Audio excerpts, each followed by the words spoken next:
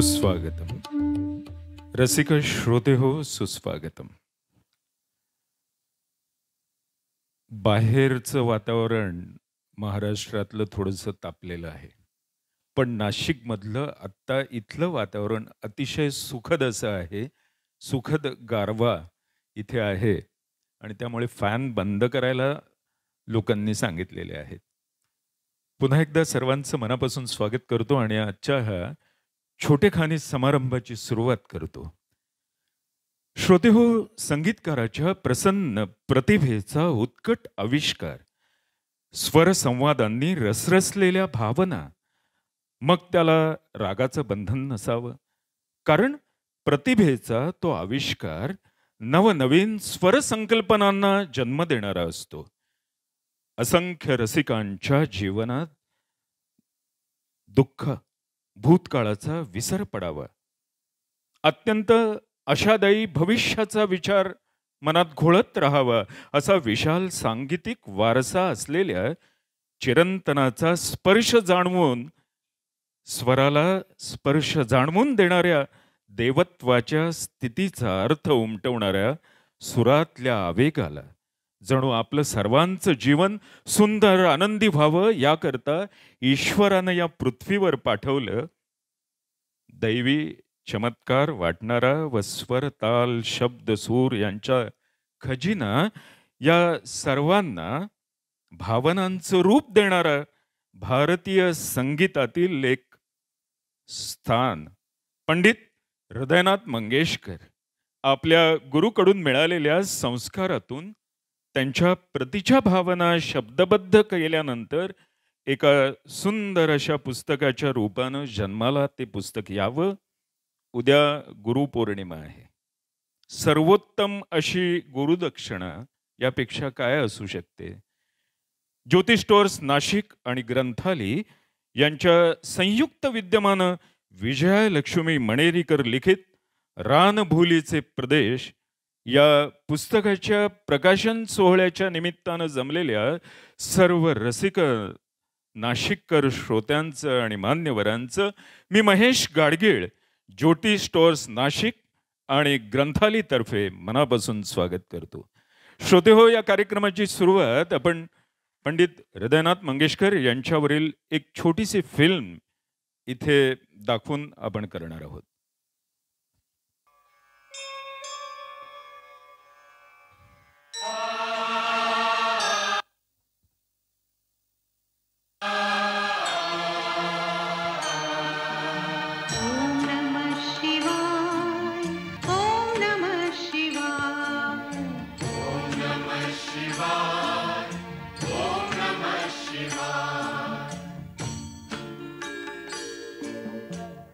रसिक नमस्कार. आज आम्ही आपणासाठी हृदयामृत हा भावगंधर्व पंडित हृदयनाथ मंगेशकर यांच्या संगीत प्रवासाची आठवण करून देणारा एक संगीतमय माहितीपट घेऊन आलो आहोत. गेली साठपेक्षा जास्त वर्ष संगीत साधनेतून सर्व रसिकांना संगीतातील विविध पैलूंची ओळख करून देणारे मनस्वी संगीतकार. चित्रपट संगीत भावसंगीत भक्ती संगीत लोकसंगीत असो वा गझल वा शास्त्रीय बंदिशी. संगीताच्या या प्रत्येक प्रकाराला अतिउच्च पातळीवर घेऊन जाऊन संगीताची उंची वाढवण्याचे अवघड काम ज्यांनी सोप्या पद्धतीने केले ज्यांची गाणी ऐकताना सुंदर चाल संगीतामुळे त्या शब्दही आपोआप लक्षात राहतात. इतका न्याय ते संगीत देताना त्या गीतालाही देतात. असे चिंतनशील ऋषितुल्य व्यक्तिमत्व संगीत जगातले भावगंधर्व पंडित हृदयनाथ मंगेशकर. परमपुरुष नारायण। संगीत दिग्दर्शक म्हणून त्यांनी त्यांच्या सुरुवातीच्या कारकिर्दीपासूनच विविध नाविन्यपूर्ण प्रयोग केले.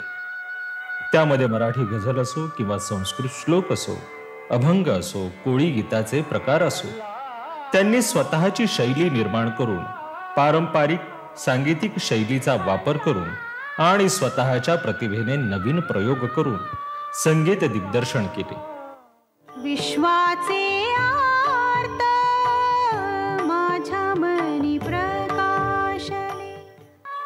स्वरसूर्य मास्टर दीनानाथ मंगेशकर यांचा वारसा आणि भारतरत्न लतादिती मंगेशकर यांचे आशीर्वाद आणि संगीत विषयाची आसक्ती तनामनात भिनलेले संगीत अशा हृदयनाथजींकडून आपल्याला नक्षत्रांचं देणं या स्वरूपात महाराष्ट्राला अनमोल स्वरांचं देणं मिळालं.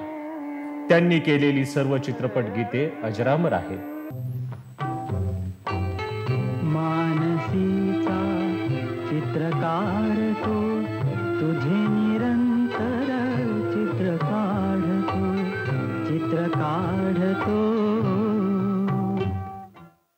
शिवकल्याण राजा. हा संग्रह म्हणजे मराठी काव्य संगीत विश्वातील एक अद्भुत कलाकृती आहे. संगीताचा एवढा अभ्यास क्वचितच एखाद्या संगीत दिग्दर्शकाने केला असेल. शब्द सूर गायक आणि गीतकार यांना समतोल न्याय देऊन केलेल्या संगीत रचना आणि गायकांच्या गळ्यातून ते गाऊन घेऊन हृदयनाथजींनी अनेक गायक घडवले. पंडित हृदयनाथ मंगेशकर यांनी सुरू केलेला भावसरगम हा कार्यक्रम गेली पंचावन्न वर्ष सातत्याने सादर होणारा केवळ एक गाण्याचा कार्यक्रम नव्हे तर पंडित हृदयनाथ मंगेशकर यांच्याकडून ती एक महाराष्ट्राला लाभलेली मौल्यवान कलाकृती आहे. पंडितजी जेव्हा या कार्यक्रमात एक एक गाण्याविषयी आठवणी सांगतात तेव्हा ते चिंतनातून प्रकटलेले त्यांचे निरूपण असते. तर हे आज सोपेपणा जो आहे सहजपणा जो आहे त्यांचीच एक ओळ आहे फार सुंदर ओळ आहे. की बाप रखुमा देईवरून सहज रिटू झाला. हे जे काही आयुष्य होतं माझं जे काही मी संगीताचं काम केलं किंवा जे लिखाणाचं काम केलं किंवा जे डॉक्टर काम करतायत ते सहज आहे. त्यासाठी प्रयत्न करावे लागले नाहीत. प्रयत्नाने पैलवान तयार होतो. प्रयत्नाने गायक तयार होत नाही. वा. पंडितजींबद्दल सांगायचे तर ते त्यांच्या लहानपणीच्या आठवणी सांगताना सांगतात. ते चार वर्ष चार महिन्याचे असताना त्यांचे वडील गेले. एका पायाने अधू असल्यामुळे त्यांना सातत्याने एका कोपऱ्यात बसून राहायला लागायचे. त्यामुळे त्यांची स्मरणशक्ती वाढत गेली. त्यांचे वडील लता दिदींना आशा ताईंना वसंतराव देशपांडे अशा विद्यार्थ्यांना शिकवायचे. आणि ते ऐकूनच पंडितजींची गाणी पाठ व्हायची. पण पंडितजींचे वय तरी त्यावेळी किती होते? चार वर्षापेक्षा कमी. अगदी कमी वयातल्या बालसंस्कारातून घडणाऱ्या चमत्कारांचे पंडितजीच साक्षात एक उदाहरण आहे. नौशाद यांनी संगीतबद्ध केलेले गीत त्यांनी वयाच्या आठव्या वर्षी गायले. श्यामची आई या चित्रपटातील गीतही त्यांच्या बालमुखातून जनसामान्यांच्या काळजापर्यंत पोहोचले. मोठ्या मोठ्या मिशा. मोठ्या मोठ्या मिशा डोळे एवढे एवढे लाल. दंताजेचा पत्ता नाही खप्पड दोन्ही गाल दंताजेचा पत्ता नाही खप्पड दोन्ही गाल शाळेमधल्या पोरांना हा वाटे दुसरा यम. छम छम छम छम छम छम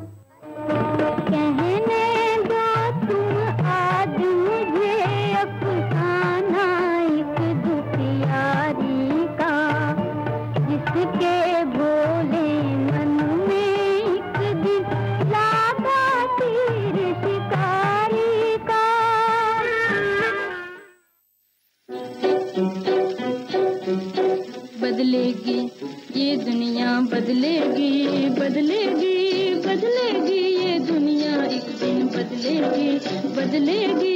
आसमान की बिटिया धरती गिर कर फिर से संभलेगी बदलेगी दुनिया एक दिन बदलेगी बदलेगी बदलेगी ये दुनिया। पंडितजींनी केवळ मराठीच नव्हे तर हिंदी जगतातही त्यांनी अजरामर रचना केल्या आहेत. त्यांच्या मिर्झा गालिब यांच्या गझलाही अत्यंत अवघड पण ऐकायला आनंददायी आहे. पंडितजींचा मास्टर स्ट्रोक म्हणजे त्यांनी केलेली मीरा भजनी राजस्थान मधील लोक त्यांना विचारायचे तुम्ही राजस्थानमध्ये निवासी होता का?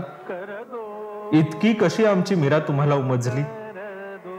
म्हारा गिरधर गोपाल चला वही देश मला वाटतं असल्या काही गोष्टींसाठी कृपा लागते ईश्वराची. ती जी बंदिश होती त्या बंदिशवरती एक मिरेचे शब्द मला असे चपखल बसणारे शब्द मिळाले. आणि ते पहिलं गाणं तयार झालं. आणि ते एक गाणं तयार झाल्यानंतर मग मी हळूहळू एक गाणी करत गेलो. आणि मग सगळी ती मीरा वाचताना आणि तिची गाणी करताना एक लक्षात आलं माझ्या की हा जो चमत्कारांचा भाग आहे तिच्या आयुष्यातला हा आपण जर गाळला. आणि तिच्या आयुष्यातला सगळ्यात मोठा चमत्कार आहे की तिने गड सोडला. आणि गड सोडणारी ती साधी एक तिथे झाडू मारणारी बाई नव्हती ती राजराणी मीरा होती एक राणी असून तिने गड सोडला हा सगळ्यात मोठा मला चमत्कार वाटता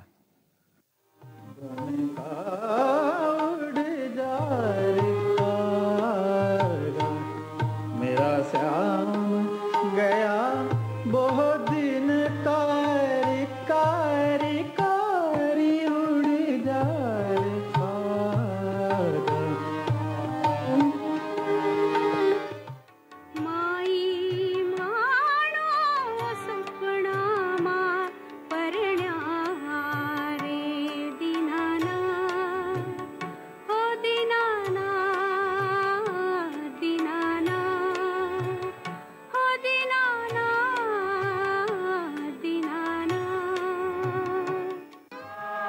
पंडितजींनी काही काळ फकीरांबरोबर राहून फकीराचे आयुष्य व्यतीत केले होते.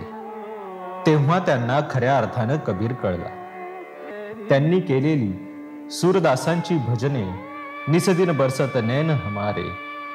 ही केवळ गीते नसून फकीराचा संन्यस्थ्याचा मार्ग दाखवणारी हृदय मन आत्म्यावर परिणाम करणारा मंत्रमुग्ध करून एकांत वासात घेऊन जाणाऱ्या जादूमय स्वरलहरी आहे.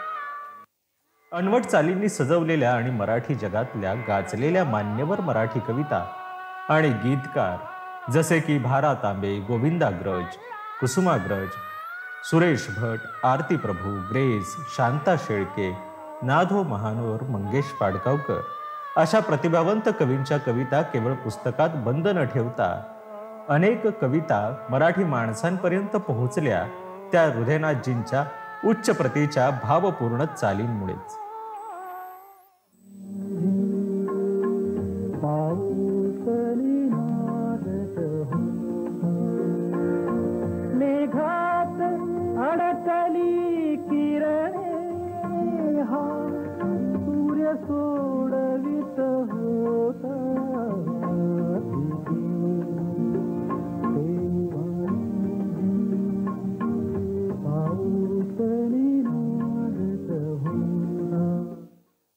तुमच्यासारखी महान माणसं अवतारी पुरुष असतात.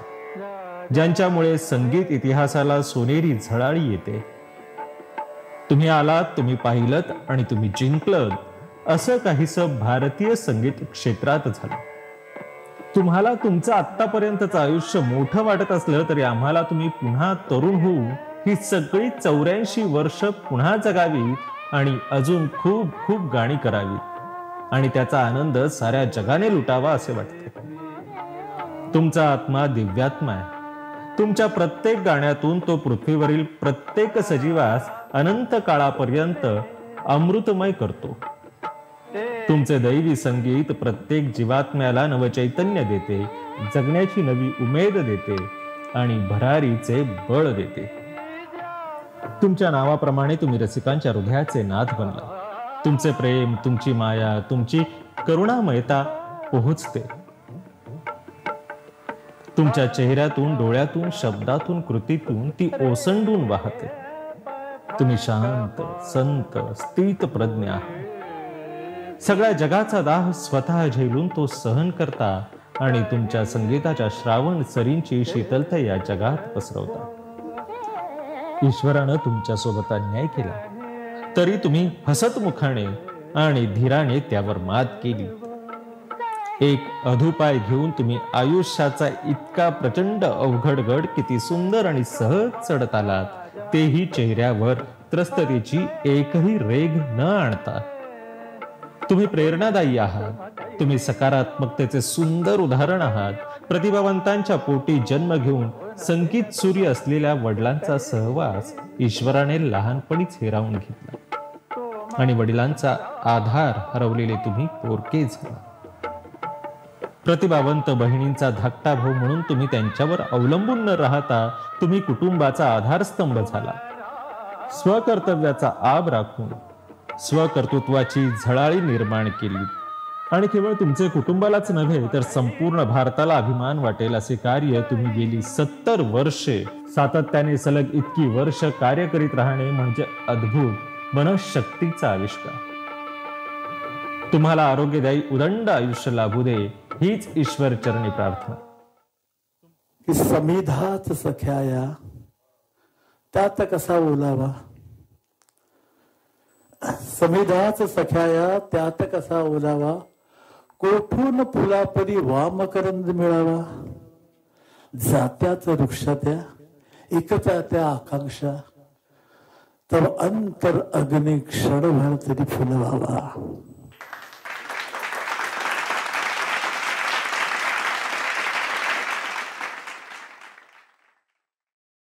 रसिक श्रोते हो जीवनाच्या सुंदर आणि शाश्वत मूल्यांचे जतन करत निस्वार्थीपणाने ही सारी मंडळी आपल्या स्वरांच्या सुरांच्या आणि शब्दांच्या माध्यमातून रंजल्या गांजल्यांचं जीवन दुःख हलकं करत असतात. श्रोते हो जीवन हा एक स्वर आहे आणि हा स्वर श्री गणेशाचा आहे. कर्माच्या कर्तेपणाचा जो अभिमान सोडतो तो गुणातीत म्हटला जातो. दुसऱ्याच्या जीवनात प्रकाश पसरवण्याचं कार्य ही सर्व मंडळी करत असतात. आणि म्हणूनच अशाच या मंडळींच्या समृद्ध हातानी दीपज्योती नमोस्तुते असं म्हणून आपण दीपाची प्रार्थना करूया दीप प्रज्वलन करूया. सरस्वतीचं वरदान या सगळ्या मंडळींना आहेच. त्या सरस्वतीचं पूजन यांच्या हस्ते करूया आणि या छोटीखानी समारंभाची सुरुवात आपण करूया. मी उपस्थित मान्यवरांना विनंती करतो की आपल्या हस्ते दीप प्रज्वलन आणि सरस्वतीचं पूजन करावं. माननीय वसंत खैरनार माननीय मिलिंद जोशी माननीय राजीव बर्वे माननीय विजयालक्ष्मी मणेरीकर माननीय सुदेश हिंगलासपूरकर आणि आजच्या प्रमुख कार्यक्रमाचे प्रमुख पाहुणे माननीय अच्युतजी गोडबोले यांना विनंती की आपल्या हस्ते दीप प्रज्वलन आणि प्रतिमा पूजन करावं.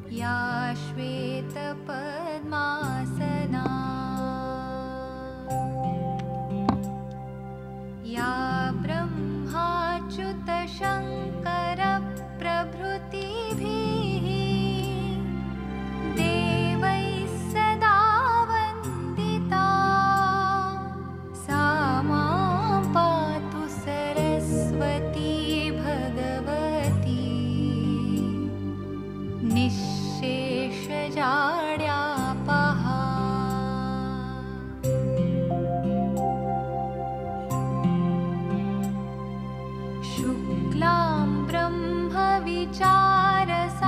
मनापासून धन्यवाद. मान्यवरांना विनंती की कृपया मंचावर येऊन आसनस्थ व्हावं.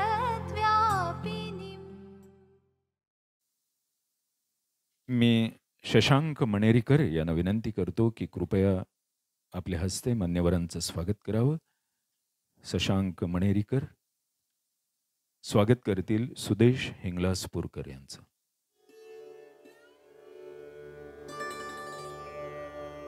यानंतर शशांक मणेरीकर यांना विनंती की वसंत खैरनार यांचं स्वागत करा. शशांकजींना पुन्हा एकदा विनंती की राजीव बर्डे यांचं स्वागत त्यांनी करावं. तर मी विनंती करेन पंडित शंकरराव वैरागकर यांना कृपया मंचावर यावं आणि आपल्या शुभ हस्ते मिलिंद जोशी संगीतकार यांचं स्वागत करा. संगीत क्षेत्रातली खरंदाज परंपरा असलेलं व्यक्तिमत्व संगीत क्षेत्रातल्याच व्यक्तीचं स्वागत करते. हा एक छान योगायोग आहे.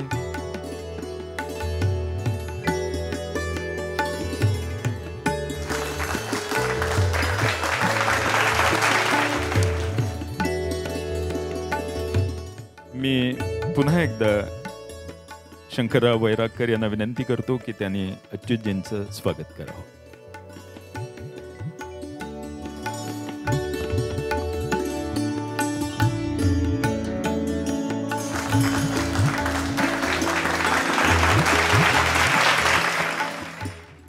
वाचकाला त्याने वाचलेल्या साहित्याचा मग ती कथा असो कादंबरी असो त्या आठवणी बिलगलेल्या असतात.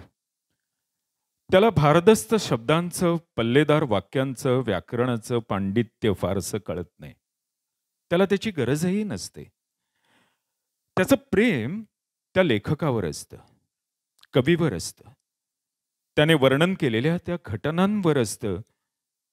अतोनात त्याला त्या भावविश्वात बुडायचं असतं. कळण्याऐवजी त्यातलं भावणं हे महत्वाचं असतं.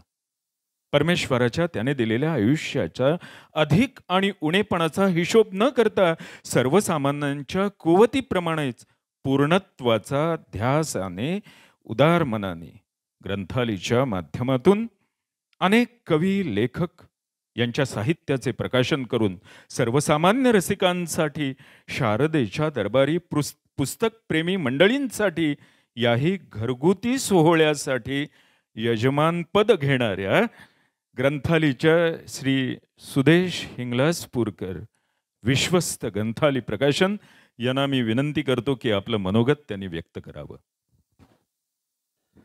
व्यासपीठावरील सर्व मान्यवर आणि रसिको हो, नमस्कार. ग्रंथाली प्रकाशित विजयलक्ष्मी मणेरकर लिखित रानबुलीचे प्रदेश या पुस्तकाचं प्रकाशन संगणक तज्ज्ञ व लेखक अच्युत गोडवले यांच्या हस्ते प्रमुख पाहुणे माझा मित्र संगीतकार मिलिंद जोशी मसापचे अध्यक्ष राजेंद्र बर्वे यांच्या उपस्थितीत ज्योतिष स्टोर्सचे सहकार्याने होत आहे याचा आम्हाला आनंद आहे. आणि जास्त मला या पुस्तकाचा प्रकाशित करताना जो आनंद झाला त्याचं कारण म्हणजे हे पुस्तक आम्ही प्रकाशित करायचं ठरवलं आणि त्याच वेळी नेमकं आम्हाला मास्टर दीनानाथ मंगेशकर पुरस्कार जाहीर झाला. म्हणजे आपण म्हणतो ना एखादा चांगला पायगुण असतो. तुम्ही एखादं काम करायला घेता आणि चांगली घटना घडते. तसं या घटनेच्या बाबतीत घडलं हे आम्ही पुस्तकाचं काम सुरू केलं होतं आणि आम्हाला तो पुरस्कार जाहीर झाला होता. आणि ज्यावेळी ते अंतिम टप्प्या झालं आणि आम्हाला तो पुरस्कार मिळणार होता तो सगळा कार्यक्रम हा दीनानाथ मंग हे षण षण्मुखानंद हॉलमध्ये होता आणि त्यावेळी मणेकर मणेकर ताई त्या कार्यक्रमाला उपस्थित होत्या. त्यामुळे मला हे पुस्तक काढल्यामुळे खूपच मनभर असा मोठा आनंद झालेला आहे. आजची उत्सवमूर्ती विजयालक्ष्मी मणेरीकर यांचे पुस्तक हृदयनाथ मंगेशकर यांनी संगीतबद्ध केलेल्या गीतांविषयी माहिती देणारं पुस्तक आहे. यास मिलिंद जोशी याची प्रस्तावना आहे. ब्लरवरचा जो मजकूर आहे तो अच्युत गोडबोले यांनी लिहिलेला आहे. महेश खरी यांनी त्याचं कव उत्तम मुखपृष्ठ केलेलं आहे. आता पुस्तकाबद्दल ही सगळी मंडळी बोलतीलच. मी आत्ता जो सगळा तुमच्याशी संवाद साधणार आहे तो ग्रंथाली काय करते ग्रंथालीने आत्तापर्यंत काय केलं याबद्दल मी तुमची दोन ते अडीच मिनटं घेईन. आमचं ग्रंथालयचं अठ्ठेचाळीसावं वर्ष आहे. आम्ही अठ्ठेचाळीस वर्षात बाराशेहून अधिक विविध विषयांची पुस्तकं प्रकाशित केलेली आहेत. संगीतविषयक चार अंक केलेले होते. सहा पुस्तकं प्रकाशित केलेली होती. सलग सहा दिवस कुमार गंधर्व यांची व्याख्यानं आयोजित केली होती आणि मुलाखती होत्या. अशा प्रकारचं ग्रंथालयी संगीत क्षेत्रात काम केलेलं होतं. आशा भोसले यांची मुलाखतीचा कार्यक्रम केला होता. मागच्या वर्षी उषा मंगेशकर आमच्याकडे येऊन गेल्या. वाचक दिनी त्यांचा मुलाखतीचा कार्यक्रम झाला. तर अशा प्रकारचं आम्ही संगीत क्षेत्रात काम केलेलं ग्रंथालयीन आहे. दुसरं आम्ही दरमहा शब्दरुची मासिक प्रकाशित करतो. त्याची जर तुम्ही वार्षिक वर्गणी भरली तर तुम्ही ग्रंथालयाच्या संपर्कात राहू शकता. नुकतंच आम्ही गेल्या महिन्यापासून विज्ञानधारा हे मुलांसाठी विज्ञानाचं मासिक सुरू केलेलं आहे. याचे संपादक शरद काळे आहे. त्याची वार्षिक वर्गणी पाचशे रुपये आहे. तुम्ही जर ती भरली तर तुम्ही मुलांना एक नवीन विज्ञानाची माहिती त्यातनं मिळू शकतं. तसंच दुसरं आम्ही लॉकडाऊनच्या काळात एक चांगलं वेगळं ग्रंथालयीन काम केलं. मी जसं आम्ही पंच्याहत्तर साली सांगितलं तुम्हाला की चांगलं वाचलं पाहिजे. म्हणून चांगल्या पुस्तकांची निर्मिती केली. चांगल्या प्रकाशकांची पुस्तकं यात्रेच्या माध्यमातून महाराष्ट्र खेडोपाड्यात नेली आणि चांगलं वाचा म्हणून सांगितलं. तसंच तुम्ही चांगलं बघा म्हणून आम्ही ग्रंथालीचे यूट्यूब चॅनल सुरू केलं. पहिलं जे आम्ही यूट्यूब चॅनल सुरू केलं ते ग्रंथाली वॉच म्हणून. त्या चॅनलवरून आम्ही साहित्याच्या पारावर हा एक कार्यक्रम सादर करतो. त्याचे आत्तापर्यंत एकशे दोन भाग झालेले. आहे यात लेखक सहभागी होतो वाचक सहभागी होतो. लेखक आपलं पुस्तकाबद्दलचं मत मांडतो आणि वाचक आणि ते पुस्तक वाचलेलं असतं त्याबद्दलचं तो आपलं मत नोंदवतो. दुसरा आमचा जो कार्यक्रम आहे तो म्हणजे ग्लोबल साहित्य सफर राजू श्रीखंडे तो सादर करतात. मी वेगवेगळ्या एक्झिबिशनच्या निमित्ताने प्रकाशन समारंभा निमित्ताने महाराष्ट्रभर फिरत असतो. त्यावेळी मला असं जाणवलं आत्ता खेडोपाड्यातली मुलं चांगली वाचतात आहे तर त्यांना जगात का चांगलं काय कुठलं क्लासिक आहे? त्याची जर आपण मराठीतनं ओळख करून दिली तर ते मुलं नंतर मागवतील पुस्तक आणि ते पुस्तक वाचतील. म्हणून आम्ही हा ग्लोबल साहित्य सफर हा कार्यक्रम आम्ही सुरू केला. तिसरा जो आमचा कार्यक्रम आहे ह्या चॅनलवरचा तो लोकल लेखिका म्हणून संजीवनी खेर सादर करतात. जगभरातल्या ज्या चांगल्या लेखिका आहेत त्यांची माहिती त्यांच्या पुस्तकाबद्दलची माहिती त्यात सांगितली जाते. तर हे सगळे कार्यक्रम तुम्हाला या चॅनलवरून आमच्या बघता येतात. तुम्ही जर ते चॅनल आमचं सबस्क्राईब केलं तर तुम्हाला सगळे कार्यक्रम बघता येतील. दुसरं आम्हाला शासनाने पाच वर्षापूर्वी एक चांगली जागा बँड्रा बँडस्टँड इथे दिलेली आहे. तिथे आम्ही ती प्रतिभांगण नावाने त्या वास्तूला आम्ही नाव दिलेलं आहे. तिथे आम्ही काही कल्चरल ॲक्टिव्हिटीज करत असतो काही वर्कशॉप घेतो. तर त्या त्या प्रतिभांगणच्या नावाने सुद्धा आम्ही एक चॅनल सुरू केलेलं आहे. या चॅनलवरून आम्ही जाणता सुजाणता कार्पोरेट गप्पा आरोग्याची कॅप्सूल जीवन उत्सव विज्ञानधारा विज्ञान गप्पा असे कार्यक्रम आम्ही सादर करतो. हेही कार्यक्रम तुम्हाला त्या प्रतिभांगणच्या चॅनलवरून बघता येतील. दुसरं आत्ता आम्ही नवीन गेल्या डिसेंबरलाच नवीन एक जसं आता तुम्हाला चांगलं बघा सांगितलं तसं चांगलं ऐका म्हणून आता ग्रंथाली ऑडिओ बुकमध्ये आलेली आहे. लिसन ग्रंथाली म्हणून आम्ही आत्तापर्यंत दोन पुस्तकं तयार केलेली आहेत. ज्यावेळी आम्ही पंचवीस डिसेंबर दोन हजार चोवीसला पन्नास वर्ष साजरे करू तोपर्यंत आमची पन्नास ऑडिओ बुक झालेली असतील. तर अशा प्रकारचा ग्रंथालीचा सगळा प्रवास तुमच्या सगळ्यांच्या सहकार्यामुळे चालू आहे. आणि असाच तो पन्नाशी तर गाठेलच आणि शंभर शंभरीपर्यंत चालू राहील. आम्हाला या कार्यक्रमाच्या प्रकाशनात ज्योतिष स्टोअरचे वसंत खैरनार यांचं सहकार्य लाभलं. त्यांच्यामुळे मी इथे नाशिकला खूप वेळ येत असतो. ते माझ्यामुळे जगभर जा येत असतात माझ्याबरोबर. मुंबईतल्या कार्यक्रमाला येतात. तर ते आम्हाला नेहमी सांगतात तुम्ही इथे नवनवीन काहीतरी कार्यक्रम करत जा त्यांच्या सहकार्यामुळे आम्हाला ते इथे करता येतात आजचं जे उत्तम निवेदन करणार आहेत ते महेश गाडगिळी. त्यांचा आत्ता माझा नुकताच परिचय इथे जा- येताना झाला. आणि आता कळलं तर त्यांना त्यांच्याबरोबर आम्हाला काही कार्यक्रम मुंबईत करता येतील नाशिकला करता येतील तर अशा प्रकारचे आम्ही कार्यक्रम उपक्रम करूच असतो. एवढं बोलून मी माझं मनोगत थांबवतो. धन्यवाद. ज्योती स्टोअर्स नाशिक श्रीयुत वसंत खैरनार. आनंदाने आणि समाधानाने कुणावरही अन्याय न करता सदैव मदतीचा हात पुढे करत आपण केलेल्या कार्याचा गाजावाजा न करता ज्याच्या ललाटी जे भाग्य लिहिलंय ते आणि तेवढंच त्याच्या वाट्याला येणार असं समजून स्वतःचा छोटेखानी वेगळा असा व्यवसाय सांभाळून एकोणीसशे एकोणसत्तरपासून एका विशिष्ट विषयाचा व्यापार आणि उद्योग यशस्वीपणे सांभाळणारे माननीय श्री वसंत खेरनार. उपस्थित रसिकजन हो. आजच्या कार्यक्रमाचे प्रमुख पाहुणे अर्थात महाराष्ट्राचे सिद्धहस्त लेखक बोर्डरूमपासून मुसाफिरपर्यंत ज्यांच्या पुस्तकांच्या जवळपास लाखाहून अधिक प्रती खपलेल्या आहेत ज्यांच्या नावावर आज पन्नास पुस्तकं आहेत येणाऱ्या तीन वर्षामध्ये किमान आणखी तीस पुस्तकं तरी लिहायचीत असा संकल्प ज्यांनी सोडलेला आहे जो आता गाडीत येता येताच मला सांगितला. असे आदरणीय अच्युत गोडबोलेजी.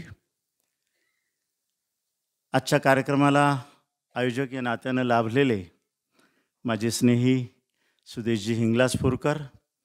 ग्रंथालयाचं बोट धरून भारतात नव्हे तर अनेक ठिकाणी प्रवास करण्याचा योग आला. आणि अमेरिकेतल्या अनेक मराठी माणसांना ज्यांनी लिहितं केलं त्यांची पुस्तकं काढलीत. मगाशी सुदेशजी बोललेत जवळपास त्यांनी बाराशेहून अधिक पुस्तकं काढलेली आहेत. या बाराशेमधून आठशे पुस्तकं ही पहिल्यांदा लेखकांनी पहिलं पुस्तक लिहिलेलं आहे. त्यांची पुस्तकं ग्रंथालयाने प्रकाशित केलेली आहेत. आणि त्यांचं बोट धरूनच मला बी एम एमच्या कन्व्हेन्शनला शिकागोला जाण्याचा योग आलेला होता. आदरणीय राजीव बर्वे आपण पाहिलं असेल आत्ता वर्ध्याला जे काही अखिल भारतीय मराठी साहित्य संमेलन झालं त्याच्यामध्ये आदरणीय केंद्रीय मंत्री नितीनजी गडकरी यांच्या शुभ हस्ते महाराष्ट्रातल्या सर्वोत्कृष्ट प्रकाशकाचा बहुमान हा दिलीपराज प्रकाशनाला मिळालेला होता. त्याचे सर्वेसर्वा माननीय श्री राजू बर्वेजी यंदाचा मात्र महाराष्ट्र शासनाचा जो पुरस्कार मिळालेला आहे उत्कृष्ट प्रकाशनाचा तो मात्र ग्रंथालीला मिळालेला आहे. आणि ग्रंथालीची आणखीन एक गोष्ट सांगायची राहिली की इकडे ऑस्ट्रेलियापासून तर थेट अमेरिकेपर्यंत मध्ये लंडनला देखील अनेक ठिकाणी पुस्तकांची प्रदर्शनं गेल्या वीस बावीस वर्षापासून सातत्यानं सुदेशजींनी चालू ठेवलेली आहेत. ज्येष्ठ संगीततज्ज्ञ माननीय श्री मिलिंदराव जोशी सर त्याचप्रमाणे अतिशय उत्तम असं निवेदन करणारे महेशजी गाडगीळ ज्यांना सुंदर आवाजाची देणगी लाभलेली आहे.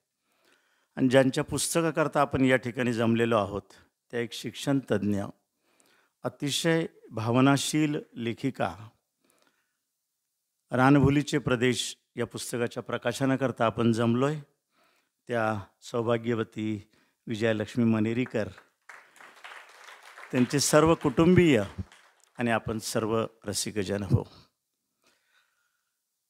उत्तम शिक्षकच उत्तम विद्यार्थी घडवीत असतात. ही मनाशी बाळगून विजयाताई सातत्यानं आपल्या ग्लोबल व्हिजनमधून शिक्षणाचं काम हे करतायत. त्यांचे सहकारी शशांक मनेरीकर हे भरभक्कमपणे त्यांच्या पाठीशी आहेत. आणि अतिशय चांगल्या पद्धतीनं ही शाळा चालवण्याचं काम त्यांनी अनेक वर्षांपासून केलेलं आहे. शाळेबरोबरच लिखाणाचं काम त्या उत्कृष्ट गायिका आहेत आपण त्यांना अनेक मैफिलीतून ऐकलेलं आहे. परंतु याच्याबरोबरच त्यांचा लेखन प्रवास देखील समृद्ध झालेला आहे. आत्तापर्यंत तीन काव्यसंग्रह त्यांनी लिहिलेले आहेत. हृदयरंग क्षेमा लागी जीव आणि लागीर हे तिन्ही काव्यसंग्रह दिलीपराज प्रकाशनाने प्रकाशित केलेले आहेत.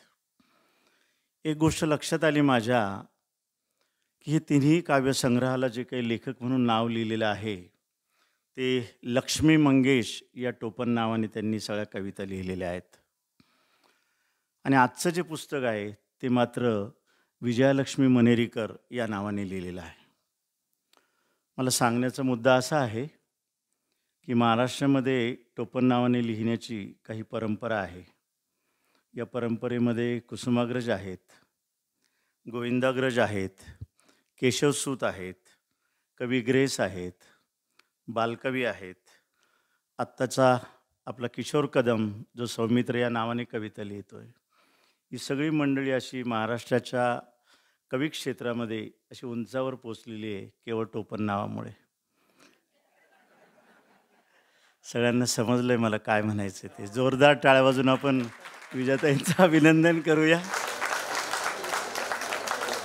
आजचं पुस्तक हे ग्रंथालीने काढलेलं आहे.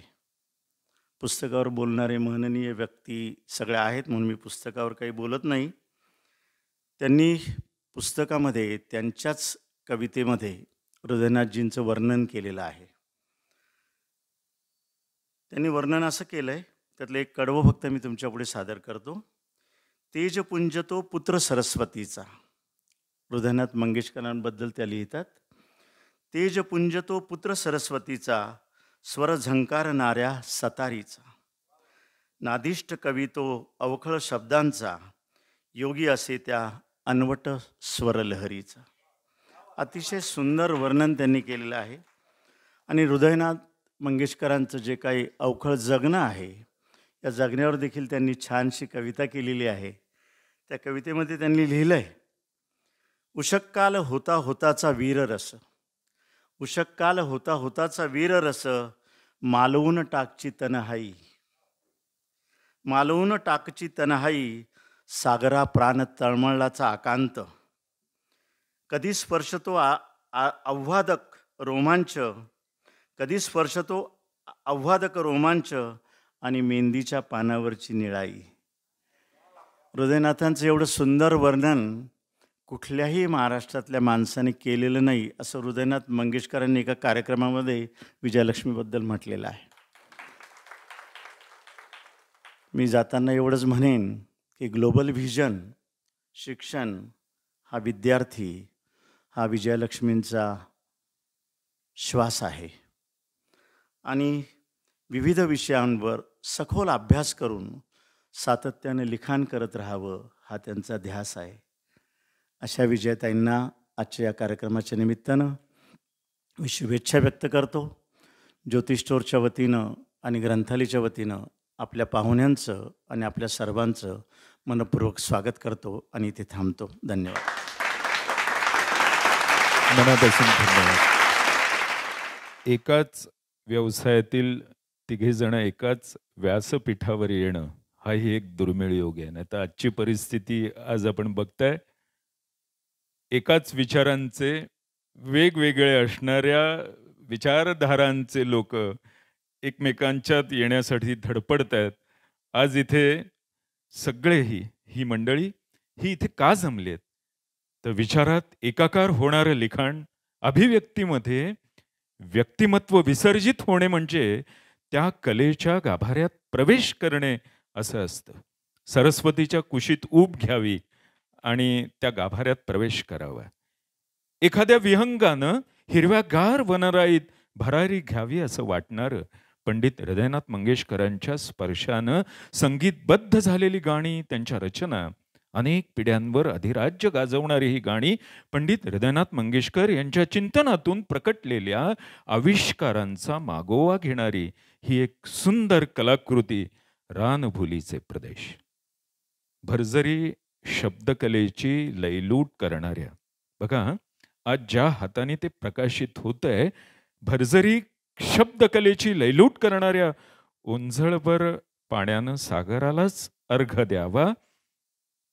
उद्याच्या गुरुपौर्णिमेला शिष्यानं दिलेली ही गुरुदक्षिणा. ज्या हाताने आज प्रकाशित होते जिभेवर आणि हातात देवी सरस्वतीची वसती असणाऱ्या प्रज्ञासागर असणाऱ्या अनुपमेय हाताने आज हे पुस्तक प्रकाशित व्हावं. हेही विशेष आहे आणि दुर्मिळ आहे. सुंदर सजावट आणि आकर्षक निर्मिती असलेलं रानभोलीचे प्रदेश आज प्रकाशित होत आहे. मी अच्युतजींना विनंती करतो त्यांच्या हस्ते या पुस्तकाचं प्रकाशन व्हावं. एका सुंदर अशा वेगळ्या पद्धतीनं आपण ते प्रकाशित करणार आहोत. पुन्हा एकदा जिभेवर आणि हातात देवी सरस्वतीची वसती असणाऱ्या प्रज्ञासागर असणाऱ्या अनुपेमय अशा हातांनी आज हे पुस्तक सर्व रसिक वाचकांसाठी प्रकाशित होत आहे. सुसंगत सजावट आणि आकर्षक निर्मिती असलेलं रानभोलीचं प्रदेश आज प्रकाशित होत आहे. हे पुस्तक प्रकाशित झालंय असं मी जाहीर करतो.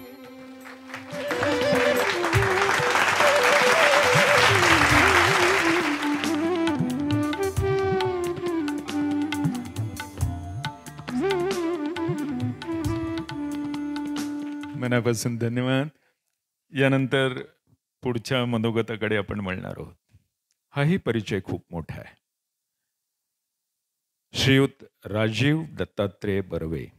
स्वार्थाचा कणमात्र हेतू मनी न धरता आपल्या सकल शक्तियुक्तीचा विनियोग नंदादीपासारखा तेवत शांतपणे करायचा आणि तोही जन्मभराच्या निशब्द बोलीनं पदरचे पैसे खर्च करून अनेक सामाजिक कार्यातील आपला सहभाग निव्वळ तळमळीच्या बळावर ही समाजसेवी गरुड झेप आपण घेता.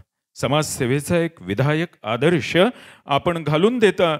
आपल्यासारख्या दृढ निश्चय आणि कृतिशील माणूसच हे करू शकतो. आपला परिचय आपलाही खूप मोठा परिचय आहे. Garware college of commerce B com. Yashwantrao Chavan Maharashtra Mukta Vidyapeeth M A gold medallist आपण आहात. आपला प्रबंधाचा विषय होता. नव इच्छुक मराठी प्रकाशकांसाठी प्रकाशन व्यवसायात साहित्याची निवड आणि निर्मिती आणि त्याचं मार्गदर्शन. एकोणीसशे पंच्याहत्तर ते एकोणीसशे ऐंशी अखिल भारतीय विद्यार्थी परिषदेचा क्रियाशील कार्यकर्ता या काळात संघटनेच्या अनेक जबाबदाऱ्या आणि अखिल भारतीय विद्यार्थी परिषदेच्या माध्यमातून भारतभर प्रवास आणि संघटन आणीबाणीतील क्रियाशील कार्यकर्ता आणीबाणीनंतरच्या लोकाभियान चळवळीच्या माध्यमातून महाराष्ट्राच्या बावीस जिल्ह्यात प्रवास आणि मतदार जागृतीच्या सभा अखिल भारतीय मराठी प्रकाशक संघाचा गेली सात वर्ष तसंच विद्यमान अध्यक्ष या माध्यमातून प्रकाशकांना सक्षम करण्यासाठी अनेक कामे आपण करता. गेली एकतीस वर्ष रोटरीच्या क्रियाशील सभासद आणि कार्यकर्ता assistant governor district secretary district RYLA chairman अनेक महत्त्वाच्या पदांवर आपण काम केलेले आहे. त्या कामाच्या अंतर्गत ॲम्ब्युलन्स प्रदान योजना असेल जनकल्याण समिती कोविड काळात अन्नदानाकरता भरीव अशी आर्थिक मदत असेल दोन हजार पाच दोन हजार एकोणीसच्या महापुरामध्ये हानी झालेल्या सुमारे पस्तीस वाचनालयांची पुनर्उभारणी आपण केली बारा शाळांच्या वाचनालयांची पुनर्उभारणी आपण केलीत. काही हॉस्पिटल्सकरता dialysis machine X ray machine देण्यात आपला पुढाकार आहे. येरवडा कारागृहात ग्रंथालय निर्मिती आपण केलीत अशा तऱ्हेचे जवळजवळ शंभरहून अधिक सामाजिक प्रकल्प आपण राबवलेत. अनेक ठिकाणी आपली व्याख्यानं होतात. खूप मोठा असा परिचय परत आहे. त्यामध्ये दोन हजार दोनमध्ये राष्ट्रीय पुरस्काराचे मानकरी आपण होतात. राष्ट्रीय राष्ट्रपती डॉक्टर अब्दुल कलाम यांच्या हस्ते विज्ञान भवन नवी दिल्ली येथे सुवर्ण कमळ देऊन आपण आपण सन्मानित केलं होतं. मी आपणाला विनंती करतो की आपलं मनोगत व्यक्त करा. गाडगिळ्यांना येऊन थांबवावं असं मला सतत वाटत होतं पण ते थांबले ते बरं झालं. आधी गाडगिळ्यांना धन्यवाद देतो. आजच्या कार्यक्रमाचे अध्यक्ष आणि प्रमुख पाहुणे ज्यांच्या हस्ते आत्ता हे पुस्तक प्रकाशित झालं ते महाराष्ट्रातले आजच्या घडीचे सर्वात लोकप्रिय लेखक अच्युत गोडबोले संगीतकार मिलिंद जोशी या पुस्तकाच्या लेखिका विजयालक्ष्मी मणेरीकर माझे मित्र ग्रंथालयचे सुदेश इंगला सुपुरकर वसंतराव खैरनार. वसंतरावांचा माझा परिचय एकोणीसशे पंच्याहत्तरपासून आज अखेरचा आहे. ते वसंतराव खैरनार आज प्रेक्षकातही माझे अनेक मित्र आहेत. विनायक रानडे इथं दिसत आहेत आज शशांक बणेरीकर त्यांच्या खांद्यावर हा सगळ्या कार्यक्रमाची दुरा आहे आणि अत्यंत उत्तम पद्धतीने हा सगळा कार्यक्रम त्यांनी आयोजित केला आहे. सगळ्यात महत्त्वाचं म्हणजे विजया लक्ष्मी मणेरीकरांचे वडील आई वडील इथं आज आलेले आहेत. तर असे सगळे अनिल बागुल आमचे लेखक आहेत. अनेक आमचे दिलीपराजचे लेखक आज इथं आहेत. आणि एवढ्या बहुसंख्येने रविवारी संध्याकाळी नाशिककर येऊ शकतात हे दाखवणारे तुम्ही सगळेजण आज हे प्रेक्षक हो. आजच्या दिवसाचा खूप मोठा विशेष आहे. म्हणजे राजकीय भूकंप वगैरे विशेष वगैरे फार किरकोळ आहेत असा एक भूक एक भूकंप आहे. म्हणजे एक वेळ शी जिनपिंग आणि मोदी हे एकामेकाला भेटू शकतात पण एक प्रकाशक दुसऱ्या प्रकाशकाला कधीही बोलणं शक्य नाही. ते आज बोलवलं गेलं. सगळ्यात मोठा आजचा कार्यक्रमाचा आहे विशेष. मला विजयाताईंचा फोन आला होता विजयालक्ष्मींचा फोन आला होता की आपण या कार्यक्रमाला प्रमुख पाहुणे म्हणून याल का? मी म्हणलं काय सांगता काय? अहो हा कार्यक्रम ग्रंथालयचा आहे ना पुस्तक ग्रंथालयचा आहे ना. तर म्हणलं हो भाई एक काम करा तुम्ही त्यांना आधी विचारा की त्यांना चालेल काय कारण हा एक फार मोठाच योग आहे की एका प्रकाशकाने दुसऱ्या प्रकाशकाला बोलवावं. हा खरोखर एक वेगळाच योग आहे. तर त्याबद्दल मी सुदेश इंग्लसपूरकरांना आधी धन्यवाद देतो. पण सगळ्यात महत्त्वाचा आजचा दिवस आहे असं मला वाटतं आणि आजच्या दिवसाचे ते वैशिष्ट्य आहे असं मला वाटतं. ते असं की देवा इतकीच आपल्या गुरुवर भक्ती असणारे विजयलक्ष्मी ज्यांचे गुरु हृदयनाथ मंगेशकर त्यांचा कार्यक्रम आज गुरुपौर्णिमेला व्हावा. हा सगळ्यात महत्त्वाचा भाग आहे. आणि यापेक्षा गुरुला अधिक दिलेली ही वंदना काय असू शकते? हा सगळ्यात आजच्या कार्यक्रमाचं विशेष आहे असं मला वाटतं. मित्रांनो खूप सुंदर पुस्तक आहे हे रानभुलीचा प्रदेश. रानभुलीचा म्हणल्यावर आपल्याला कदाचित प्रश्न पडेल की हे काय बरं हे का बरं नाव दिलं असेल? आपण एखाद्या सुंदर रानात गेल्यानंतर त्या सगळ्या रानाचं त्या अरण्याचं त्या सौंदर्याचं मी नुकताच पेरियरला जाऊन आलो. त्यामुळे अरण्य किती सुंदर असतं. तिथं एक दिवसभर रानाची पायपीट केलेली होती. त्या अरण्यातनं बाहेर पडताना मला असं लक्षात आलं होतं की या अरण्याने आपल्याला भुरळ घातली आहे या सौंदर्याने आपण मोहरून गेलोय मोहून गेलोय. तर अशा तऱ्हेचा मोह पाडणारं हे पुस्तक आहे. हा चकवा नाही आहे रानातला तर ही रानभूल आहे हे लक्षात घ्या. आणि त्याचं इतकं सुंदर आणि समर्पक नाव समर्पक शीर्षक विजयाताईंनी या पुस्तकाला दिले. मला विजयाताईंचं मोठं कौतुक वाटतं की त्यांच्या सगळ्याच पुस्तकांची नावं सुंदर आहेत. हृदयरंग असेल लागीर असेल शेमा लागी जीव असेल. त्यांच्या एका पुस्तकाच्या प्रस्तावना मी लिहिली. तेव्हा आधी मी काही प्राध्यापकांना विचारलं होतं की या पुस्तकाचा हा जो अर्थ मी काढलाय हा बरोबर आहे ना? आपलंच काही चुकत नाही ना? नावाच्या शीर्षकावरनं मला मुद्दाम आठवण झाली की इतकं वेगवेगळं. त्यांच्या एक त्यांना एक छंद आहे. कारण विजयाताईंकडे प्रचंड प्रमाणात शब्दसंपदा आहे. हे मला मी त्यांच्या चारही पुस्तकांचा वाचक अस म्हणजे अशी खैर थोडी लोक असतील कारण आता तुम्ही चौथं पुस्तक वाचल्यावर तुम्ही त्याचे वाचक व्हाल पण मी तूर्त चारही पुस्तकांचा वाचक आहे. तर त्यामध्ये त्यांना एक आवड आहे की त्यांच्याकडे शब्दाची श्रीमंती खूप प्रचंड आहे विजयाताईंकडे आणि त्याच्यामध्ये त्या वेगवेगळे शब्द वापरत असतात. म्हणजे मला मी आता त्यांच्या वाचक चाहताच झालेलो आहे वाचक म्हणून. त्यांचं पुढचं पुस्तक गेलं तेव्हा मी अगोदर कुठला शब्द बरं आपल्याला वेगळा मिळतोय. मला मराठीची आवड आहे. मराठी लहानपणापासनं मराठी वाचतो. नुकताच पुणे विद्यापीठाच्या बोर्ड ऑफ स्टडीज मराठीवर माझी नुकतीच नेमणूक झाली. दोन तीन दिवसापूर्वीच त्यामुळे त्याच्यात नव्हती. परंतु सांगण्याचा मुद्दा असा की त्यामुळे माझं मराठी लेखनाकडे बारीक लक्ष असतं. आमचे जेव्हा पुस्तकाचं सिलेक्शन होतं आमच्या शेकडो पुस्तकांना राज्य पुरस्कार मिळाले. तेव्हा सिलेक्शन होऊन जेव्हा ते पुस्तक फायनल झाल्यानंतर मी जेव्हा वाचतो तेव्हा त्याच्यामध्ये माझं बारीक लक्ष असतं की या पुस्तकातनं आपल्याला वेगळं काय मिळतं आहे त्याच्यामध्ये विजयाताईंच्या पुस्तकात मला ही शब्दांची श्रीमंती दिसते की किती आणि गमतीचा भाग असा की वेगवेगळे शब्द वापरताना सुद्धा ते कुठे जड किंवा बोजड होत नाहीत. या पुस्तकात सुद्धा त्या अर्पण पत्रिकेत म्हणतात रानबोलीच्या संभ्रांत विस्तीर्ण प्रदेशांना. हा संभ्रांत शब्द त्यांनी वापरलाय.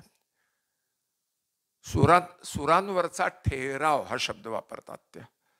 असे इतके वेगवेगळे शब्द.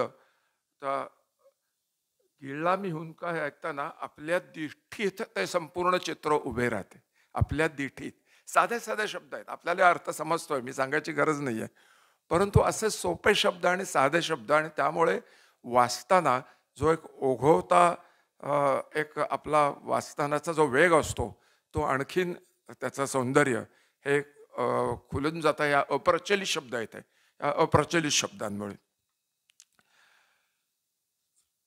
स्थित्यंजरे म्हणतात त्या. अशा अनेक वेगवेगळ्या शब्दांचं वर्णन करता येईल. तर याचं मोठं कौतुक वाटतं मला.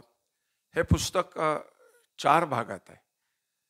पहिल्या भागामध्ये ह्याच्या सगळ्या त्यांनी जी सुरेख गाणी केली आहेत हृदयनाथांनी त्या गाण्याची रसग्रहण आहेत पहिल्या भागामध्ये. दुसऱ्या भागामध्ये त्यांनी हृदयनाथांवरच्या केलेल्या कविता आहेत. तिसऱ्या भागामध्ये त्यांनी विजयलक्ष्मींनी हृदयनाथांवर लिहिलेले जे लेख आहेत आणि चौथ्या भागामध्ये संपूर्ण हृदयनाथ मंगेशकरांच्या गाण्याची त्यांनी गायलेल्या गाण्यांची त्यांच्या हिंदी गाण्यांची त्यांच्या बंगाली गाण्यांची ही सगळी सूची आहे. अशा चार भागामध्ये हे पुस्तक आहे.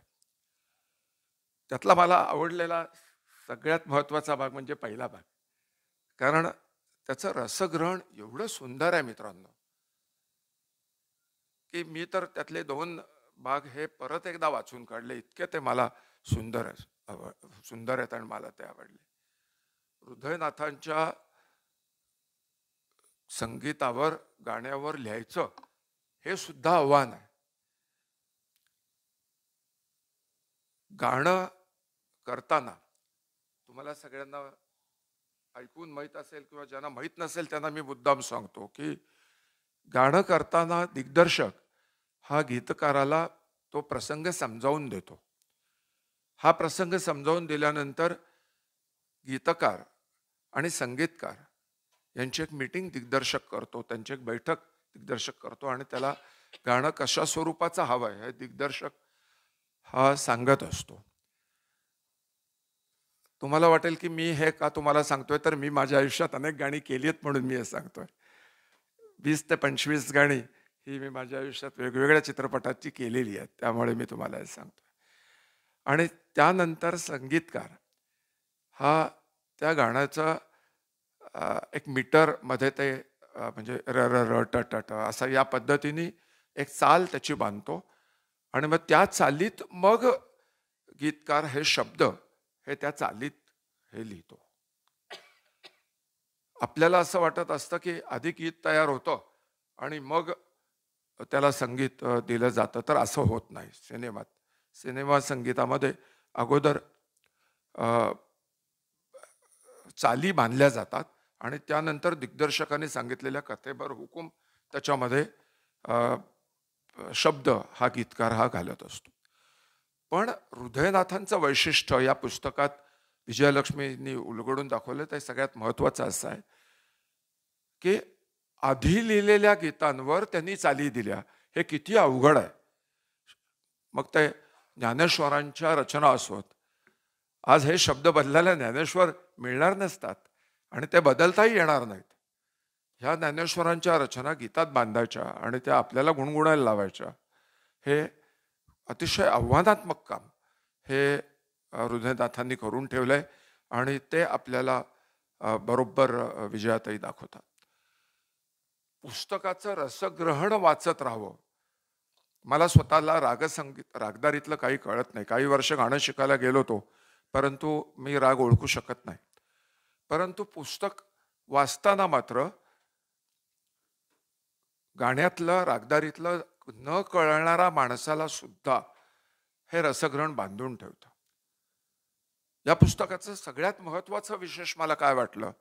त्या जो पहिल्या भागातला विशेष मला असं वाटलं की आपल्याला गा ही सगळीच गाणी तुम्हाला सगळ्यांना माहिती आहेत. ही प्रसिद्ध आहेत गाणी. पण हे पुस्तक वाचल्यानंतर जेव्हा तुम्ही ही गाणी ऐकाल तेव्हा त्या गाण्यातला आनंद तुम्हाला अधिक मिळेल हे माझ्या लक्षात आलं. मी मुद्दाम हे पुस्तक वाचल्यानंतर ही गाणी परत एकदा यूट्यूबवर जाऊन ऐकली. आणि मग माझ्या लक्षात आलं की त्यातल्या खाचा खोचा त्यातल्या त्यातलं सौंदर्य त्यातला विजयाताईने लिहिल्याप्रमाणे हे गाणं कसं काय आलं? त्याचं गाण्याचं त्यातलं त्यातल्या एक अवखळपणा असेल किंवा त्यांची अतिशय वेगवेगळी गाणी हृदयनाथाने केली. त्यातले जी कोळी गीत आहेत त्यातल्या जे ती कोळी गीता मी परत एकदा ऐकताना त्यांनी जेव्हा त्या रसग्रहणामध्ये लिहिलेलं होतं की त्यातल्या ज्या मागचा जो आवाज समुद्राचा हा सगळं त्यांनी बारीक बारीक बारीक त्यातल्या ज्या काचाखोच आहेत. आपल्याला दोन चार प्रमुख वाद्य माहीत असतात. तबला बोंगो गोंगो वगैरे. परंतु कुठलं कुठलं वाद्य त्याच्यामध्ये वापरलं हे त्या रसग्रहणामध्ये वर्णन करून सांगतात. मग आपण गाणं ऐकताना मुद्दाम ते वाद्य ऐकतो आणि मला आपल्याला ते गाणं अधिक अधिक आवडायला लागतं. अशा तऱ्हेची आवड आपल्याला गाण्याची अधिक निर्माण करतं. कुठल्याही पुस्तकात वाचनीयता ही असलीच पाहिजे. अशा तऱ्हेच्या पुस्तकात वाचनीयता जर नसेल तर एक दोन लेख वाचल्यानंतर वाचक ते बाजूला ठेवतील. परंतु या पुस्तकात तसं होत नाही मित्रांनो. ही वाचनीयता या पुस्तकामध्ये ही अतिशय आहे. आणि त्याकरता त्यांनी ज्यातले जे वेगवेगळे प्रसंग सांगितलेत किंवा त्यांनी जे त्याच्यामध्ये वेगवेगळ्या गोष्टी या त्यांनी सांगितल्या आहेत उदाहरणार्थ जीवलगा हा शब्द जीवलगा राहिले रे दूरगर माझे आपल्याला सगळ्यांनाच हे गाणं माहिती आहे. पण शांताबाई अडखळल्या त्यांना पहिला शब्द आठवेना मीटर तर सांगितलेलं होतं हृदयनाथांनी. बराच बरेच तास झाल्यानंतर हा शब्द हृदयनाथांनी सांगितला. म्हणजे हृदयनाथाची साहि हृदयनाथांची साहित्याची जाणीव किती असली पाहिजे हे त्यावरनं लक्षात येतं. हे मला नवीनच कळलं की जीवलगा हा शब्द शांताबाईंचा हृदयनाथाने सांगितला. शांताबाईंचा पण मनाचा मोठेपणा एवढा आहे की त्या तो शब्द त्या बाळचा आहे असं म्हणतात. बाळ हृदयनाथांना बाळ म्हणतात म्हणत म्हणतात. तर त्या बाळां बाळाने सांगितलेला हा शब्द आहे. हे जीवलगा हा शब्द. वा पुस्तक वाचताना आपल्याला आणखीन कशा गमतीशीर गोष्टी करतात एका हंगेरीन गायकाने त्यांचं एक दर्दभरं गीत ऐकताना. ते ऐकून झाल्यावर त्या हंगेरियन माणसाला हे माहीत नसतं की त्याला मराठी येत नाही. परंतु गाणं ऐकल्यावर तो असं म्हणतो की एका स्त्रीचं दुःख आहे का होय स्त्रीचा एका स्त्रीच्या मनातल्या वेदना हे गाणं सांगताय का हो? म्हणजे हे लक्षात घ्या की भाषेच्या पलीकडे जाऊन सूर हे दिले जातात हृदयनाथांकडनं.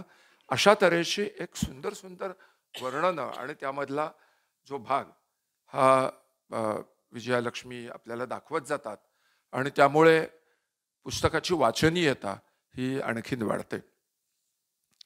त्या खूप भाग्यवान आहेत की वडिलांच्या हाताखाली त्यांनी संगीताचं बाळकडू घेतलं त्या मोठ्या गायिका आहेत. मी त्यांचं गाणं प्रत्यक्ष ऐकलेलं नाही परंतु ते जेव्हा पाठवलं किंवा रेकॉर्डेड गाणी मी त्यांची ऐकली आहेत. त्यांच्या सुरेख आवाजात सुरेख त्या गातात.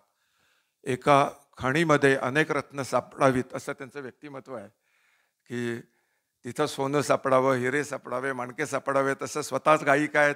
स्वतः उत्तम शिक्षिका आहेत संस्थाचालिका आहेत मुख्याध्यापिका आहेत आणि काव कवीही आहेत.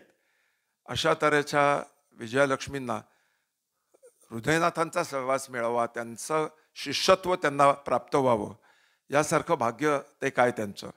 आणि गुरुला हेवा वाटावा असं पुस्तक हे त्यांनी आज इथे तुमच्या सगळ्यांच्या हातात दिलं आहे तर अतिशय या सुंदर पुस्तकाचं आपण स्वागत करूया. हे पुस्तक आपण आपल्याला हृदयनाथ अधिक कळण्यासाठी आपण जरूर वाचा. हृदयनाथ जर आवडत असतील तर हे पुस्तक तुम्हाला आवडेलच. परंतु हृदयनाथ हे अन्य संगीतकारांच्या इतकेच तुम्हाला आवडत असतील तर हे पुस्तक वाचल्यानंतर तुम्हाला हृदयनाथ अधिक आवडायला लागतील. तर त्यामुळे आपण हे निश्चितपणे हे पुस्तक आपण वाचावं अशी मी विनंती करतो. मला दिलेल्या वेळेच्या बऱ्याच अधिक वेळ मी बोललो आहे याबद्दल आयोजकांची क्षमा मागतो.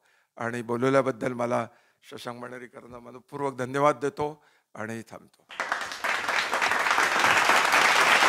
मनापासून धन्यवाद. परमेश्वराने दिलेल्या आयुष्याचा अधिक आणि उणेपणाचा हिशोब न करता सर्वसामान्य रसिकांच्या कुवतीप्रमाणे पूर्णत्वाच्या ध्यासाने उदार मनाने संधीचं सोनं करत घरंदाज कलावंताच्या शैलीप्रमाणेच आपणही सर्वांना आपल्या गुणांच्या माध्यमातून फक्त आनंदच देता.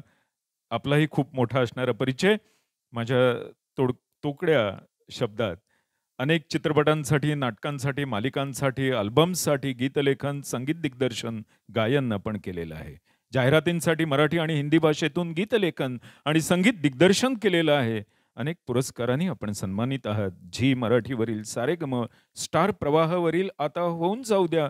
कलर्स मराठीवरील सूर नवा ध्यास नवा अशा रियालिटी शोसाठी स्पर्धक निवड परीक्षक गायन समुपदेशक आणि परीक्षक म्हणून आपण काम केलेलं आहे. असंच होतं ना तुलाही या आधुनिक काळात कवीच्या हस्ताक्षरात प्रसिद्ध झालेल्या पहिल्या काव्यसंग्रहाचे मिलिंद जोशी हे कवी आहेत. गेल्या अनेक वर्षे रंगनवा विविध कवी कवींच्या कवितांवर आधारित स्वतः संगीतबद्ध केलेल्या कवितांचा कार्यक्रम आपण सादर करता. मी आपल्याला विनंती करतो की आपलं मनोगत आपण व्यक्त करावं. नमस्कार. रंगमंचावरील सर्व मान्यवर. केवळ दोन प्रकाशकच नाही तर मला आज अच्युतजींसारखे इतके प्रतितयश विविध विषयांवर लिहू शकणारे आणि संगीत विषयावरही अधिकाराने लिहिणारे लेखक आणि अतिशय आदरणीय व्यक्तिमत्व. विजयालक्ष्मी मणेरीकरांनी लिहिलेलं पुस्तक तेही संगीत विषयक. त्यामुळे आता साहित्य आणि संगीत या दोन्ही क्षेत्रामध्ये मी जे प्रयत्न करत असतो तर त्या तसंच असलेल्या या मंचावर यायला मिळालं याचा एक मुळात मी आनंद व्यक्त करतो. आणि सर्वात आधी विजयलक्ष्मी मणेरीकर यांचं अभिनंदन करतो या सुरेख पुस्तकासाठी. पुस्तक मला नेहमी वाटतं की पुस्तक हे पाण्यासारखं असतं. जसं पाण्यात जो रंग टाकू त्या रंगाचं ते दिसतं.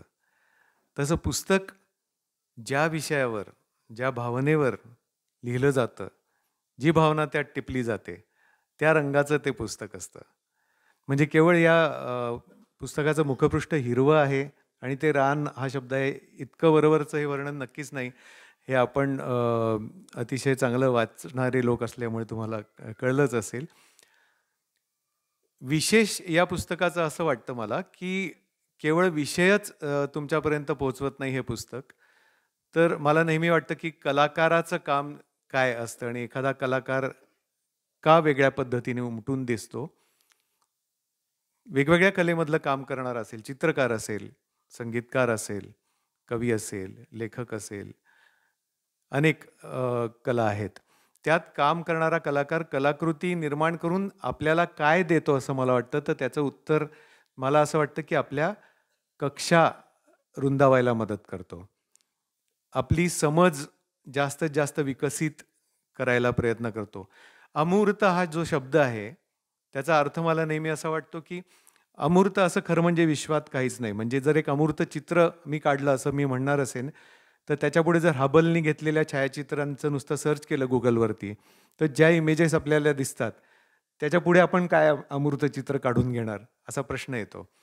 तर अमूर्त याचा अर्थ फक्त असाच वाटतो मला की जे आपल्याला समजत नाही त्याच्या पलीकडचं जे असतं त्याला आपण अमूर्त म्हणतो.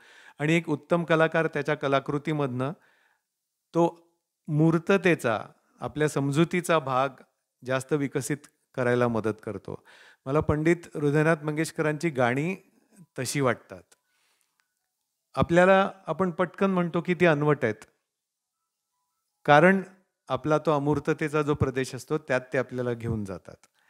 आणि त्या अमूर्ततेच्या प्रदेशात ते अतिशय सुंदर वेगळ्या पद्धतीचा आकृतीबंध तयार करतात.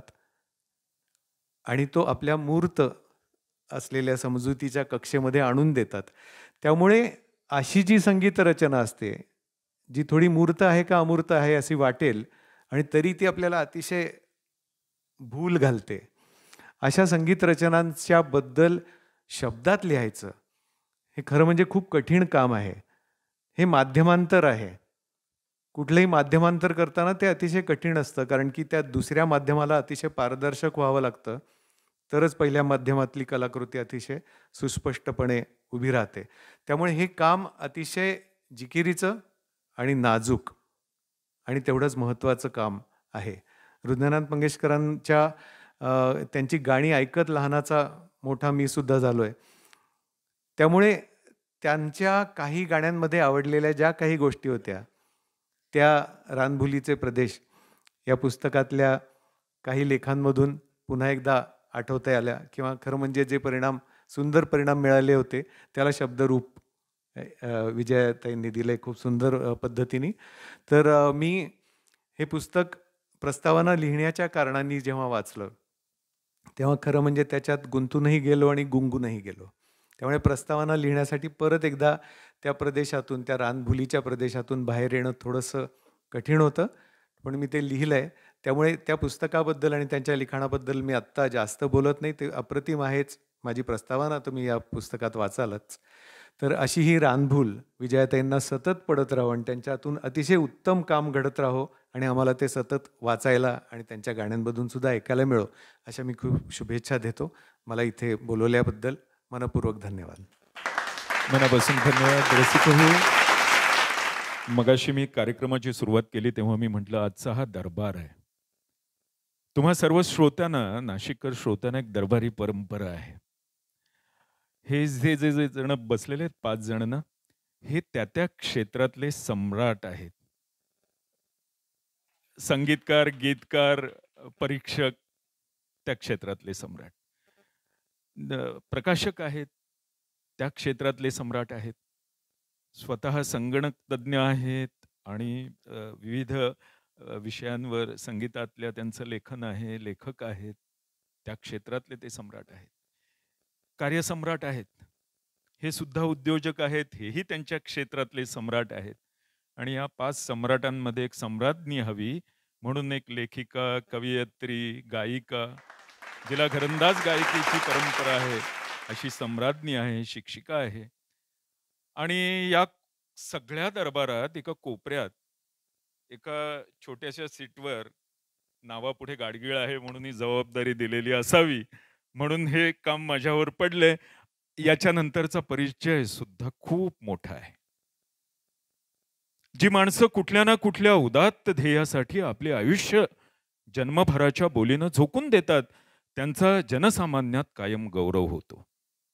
आपण आपलं आयुष्य सॉफ्टवेअर क्षेत्रात निरपेक्षपणे अर्पण केलं. आपला जन्म ज्ञानसाधना करण्यात आणि संपादन केलेलं ज्ञान अनेक विषयांवर लेखन करून सामान्य जिज्ञासूंपर्यंत पोहोचवण्यात गेला. भौतिक उत्कर्षाची स्वप्न पाहणारा विद्यार्थी वर्ग आणि रसकिताने संगीताचा नादवेध घेणारा श्रोतृवर्ग हा सुद्धा आपला चाहता वर्ग. आपला सदैव ऋणी हा वर्ग राहील. काही गोष्टींचा गुंजारव मनात सदैव जागा असतो. आंब्याच्या मोहराचा सुगंध बालगंधर्वांची धून त्यांच्या भावनेनं ओलाचिंब झालेला लढिवाळ शब्द सागराची गाज याचा कोणाला कधी विसर पडतो का हो? अच्युतजी वर्तमानपत्रातील आपल्या लेखमालिका संगणक युग नादभेद काय आणि किती? लेखनात काय आणि बोलण्यात काय? आपण दिलेला निर्मळ आनंद कृत्रिमतेचा स्पर्श नसलेलं जे आहे ते सखोल सुंदर आणि स्वच्छ रानझऱ्यासारखं उफाळून आलेलं. रान फुलासारखं टवटवीत रंग धारण केलेलं अस्सल बाजाचं साहित्य. अस्सल विचारधन बौद्धिक क्षमता आपला लौकिक साता समुद्रापलीकडे गेला. प्रज्ञासागर ठरलेल्या लोकोत्तर अनेक विभूतींपैकी आपण. आपला सुद्धा परिचय खूप मोठा आहे. पुस्तकांची यादी खूप मोठी आहे. संगीतातील सुरांवर प्रेम करण्याचे वरदान ज्यांना लाभलेलं असतं ते हलाहल सुद्धा पचवतात असं पुलंनी एके ठिकाणी म्हटलेलं आहे. अत्यानंदाच्या प्रवाहात वाहून न जाता किनाऱ्याला उभं राहून तटस्थ नजरेनं स्वतःचा तोल सांभाळत दुःखांपुढे यातनांपुढे शरणांगती न पत्करता स्वतःचं असं वेगळं पण जपत दुसऱ्याच्या यातना कमी करण्याचं काम आपण आपल्या लेखन शैलीच्या माध्यमातून करत असता खूप मोठा असा परिचय आहे. शालांत परीक्षेत कॉलेजमध्ये संपूर्ण विद्यापीठात पहिला क्रमांक. पहिलीपासून आय आय टी पर्यंत गणितात जवळपास सगळ्या परीक्षांमध्ये सर्वोच्च गुण आणि पारितोषिक.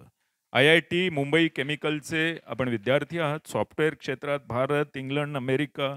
इथे बत्तीस वर्षातला अनुभव त्यातली तेवीस वर्ष हजारो सॉफ्टवेअर इंजिनियर्स असलेल्या जगप्रसिद्ध आंतरराष्ट्रीय कंपन्यांमध्ये एम डी सी ओ अशा सर्वोच्च पदांचा अनुभव आपल्या गाठीशी आहे.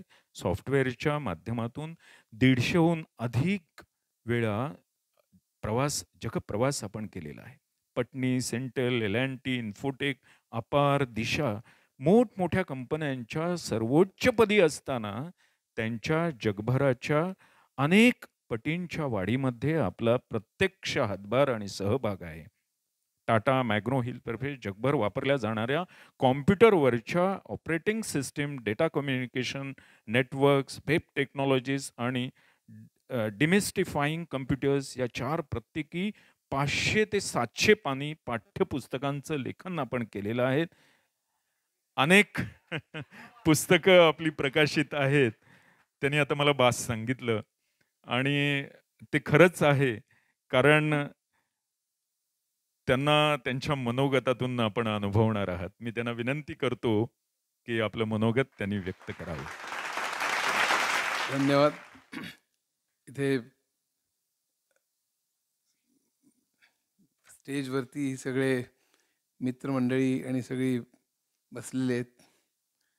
सुदेश माझा अनेक वर्षांपासूनचा मित्र. अतिशय उत्तम प्रकाशन.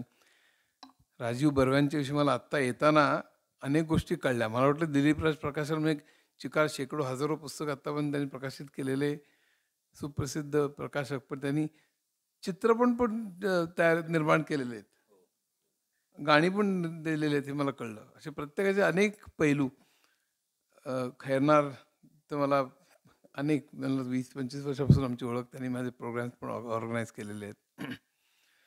मिलिंद जोशी हा गेले वीस पंचवीस वर्षापासून माझा मित्र कायम हसतमुख उत्कृष्ट कविता आणि उत्तम संगीत. मला अजून आठवतं आम्ही एकदा भेटलो होतो. त्याने एक गाऊन दाखवलेलं होतं. तर गोरख कल्याणकर राग रागेशी होतं मला माहीत नाही तुला आठवत असेल. अप्रतिम चाल दिलेली होती. ती कितीतरी दिवस माझ्या डोक्यात रे- रे- रेंगाळत होती. विजयलक्ष्मीनी अर्थातच आपल्यासमोर खजिना निर्माण केलेला आहे आणि हा प्रचंड ग्रेट आहे. म्हणजे त्याच्याविषयी मी दोन चार थोडं बोलणार आहे. फार फार आपला वेळ आनंदाची बातमी अशी की मी फार वेळ बोलणार नाही आहे म्हणजे एक फार चांगली गोष्ट की या हॉलमध्ये इतकं सुंदर हॉल आहे. हा मला नाशिकमध्ये हा हॉल आहे माहीत नव्हतं. मग त्या हॉलवरनं मला आठवण आली. वसंतराव देशपांडेंचा फोटो बघितला. त्या त्यावेळी मला आठवण आली. वसंतरावांचा आमचा खूप चांगला संबंध होता. आणि वसंतराव मिश्किल होते चिकार. एकदा एका नाटकाच्या प्रयोगाच्या दोन अंकांच्या मध्ये मी भेटायला गेलो तर ते म्हणाले अरे तुला एक गंमत सांगतो. आपल्या आयुष्यात आपली पर्स्पेक्टिव्ह कशी वेगळी असतात. म्हणजे म्हणणं म्हणजे काय पण आपल्याला एखादी गोष्ट खूप महत्त्वाची वाटते पण ती दुसऱ्याला महत्त्वाची वाटेलच असं नाही. म्हणून म्हणजे काय ते म्हणे एकदा माझं गाणं चाललं होतं आणि गाणं पुण्याला चाललं होतं.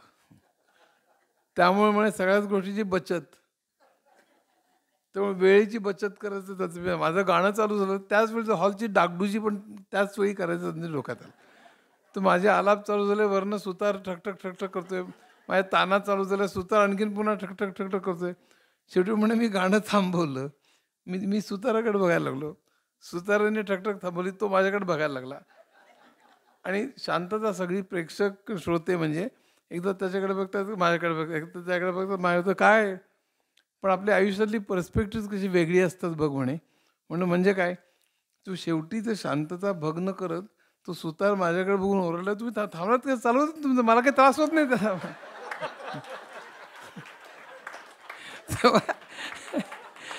एकंदरीत एकंदरीत पर्स्पेक्टिव्ह इथे हॉल हॉलमध्ये काही डागडुजी चाललेली नाही आहे तर आणि हॉल चांगला आहे त्याच्यावरनं मला आठवलं.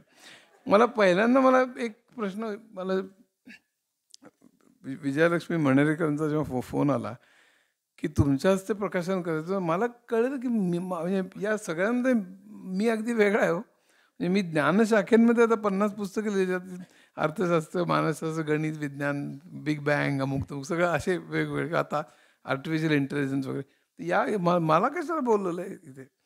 पण मला वाटतं कदाचित ते नादवेदमुळे कदाचित असेल की पूर्वी महाराष्ट्र टाइम्समध्ये क कॅसेटचा कॉलम लिहित असेल माझा मी कानसेन आहे. म्हणजे मला प्रत्यक्ष मी ग लोक लोकांच्या नशिबाने मी गात नाही. आणि खूप लोक जमले आणि त्यांच्या आता फार जात नाही त्यांना पांगवायची वेळ आली की मला बोलवतात. मी येतात पूर्वी पूर्वी मी बरेच राग कसे ओळखायचे असे बरेच प्रयोग करायचे ऐंशी शंभर असं राग मी त्यावेळेस जरा आवाज थोडा बरा होता. पण आता मी तसलं काही प्रयोग करत नाही. पण मुख्य काय की गाण्याचं मी कान ऐकलं मात्र मी प्रचंड आहे या शंकाच नाही. आमच्या घरी भीमसेन जसराज कुमार गंधर्व यायचे. आमच्या घरी म्हणजे माझी बहीण किशोर्या म्हणून मोगोबाईंकडे शिकली. आणि त्यामुळे घरात गाणं खूप होतं. आणि पहिल्यापासून खूप क्लासिकलपासून सिने संगीतपासून कवालीपासून ते स भजनांपासून ते सगळं मला म्हणजे कुठलंही गाणं मला आवडतं. म्हणजे जसराजजींकडे माझ्या आम्ही कायम जाऊन बसायचो. कुठलंही संगीत असेल कुठलंही गझल असेल तर गाण्यावर प्रेम आणि शब्दांवरती प्रेम. आमच्याकडे करंदेकर बापट पाडगावकर घरी यायचे. घरी आमची काव्यवाचनं व्हायची. आमच्या घरी चर्चा याच चालायच्या सगळ्या.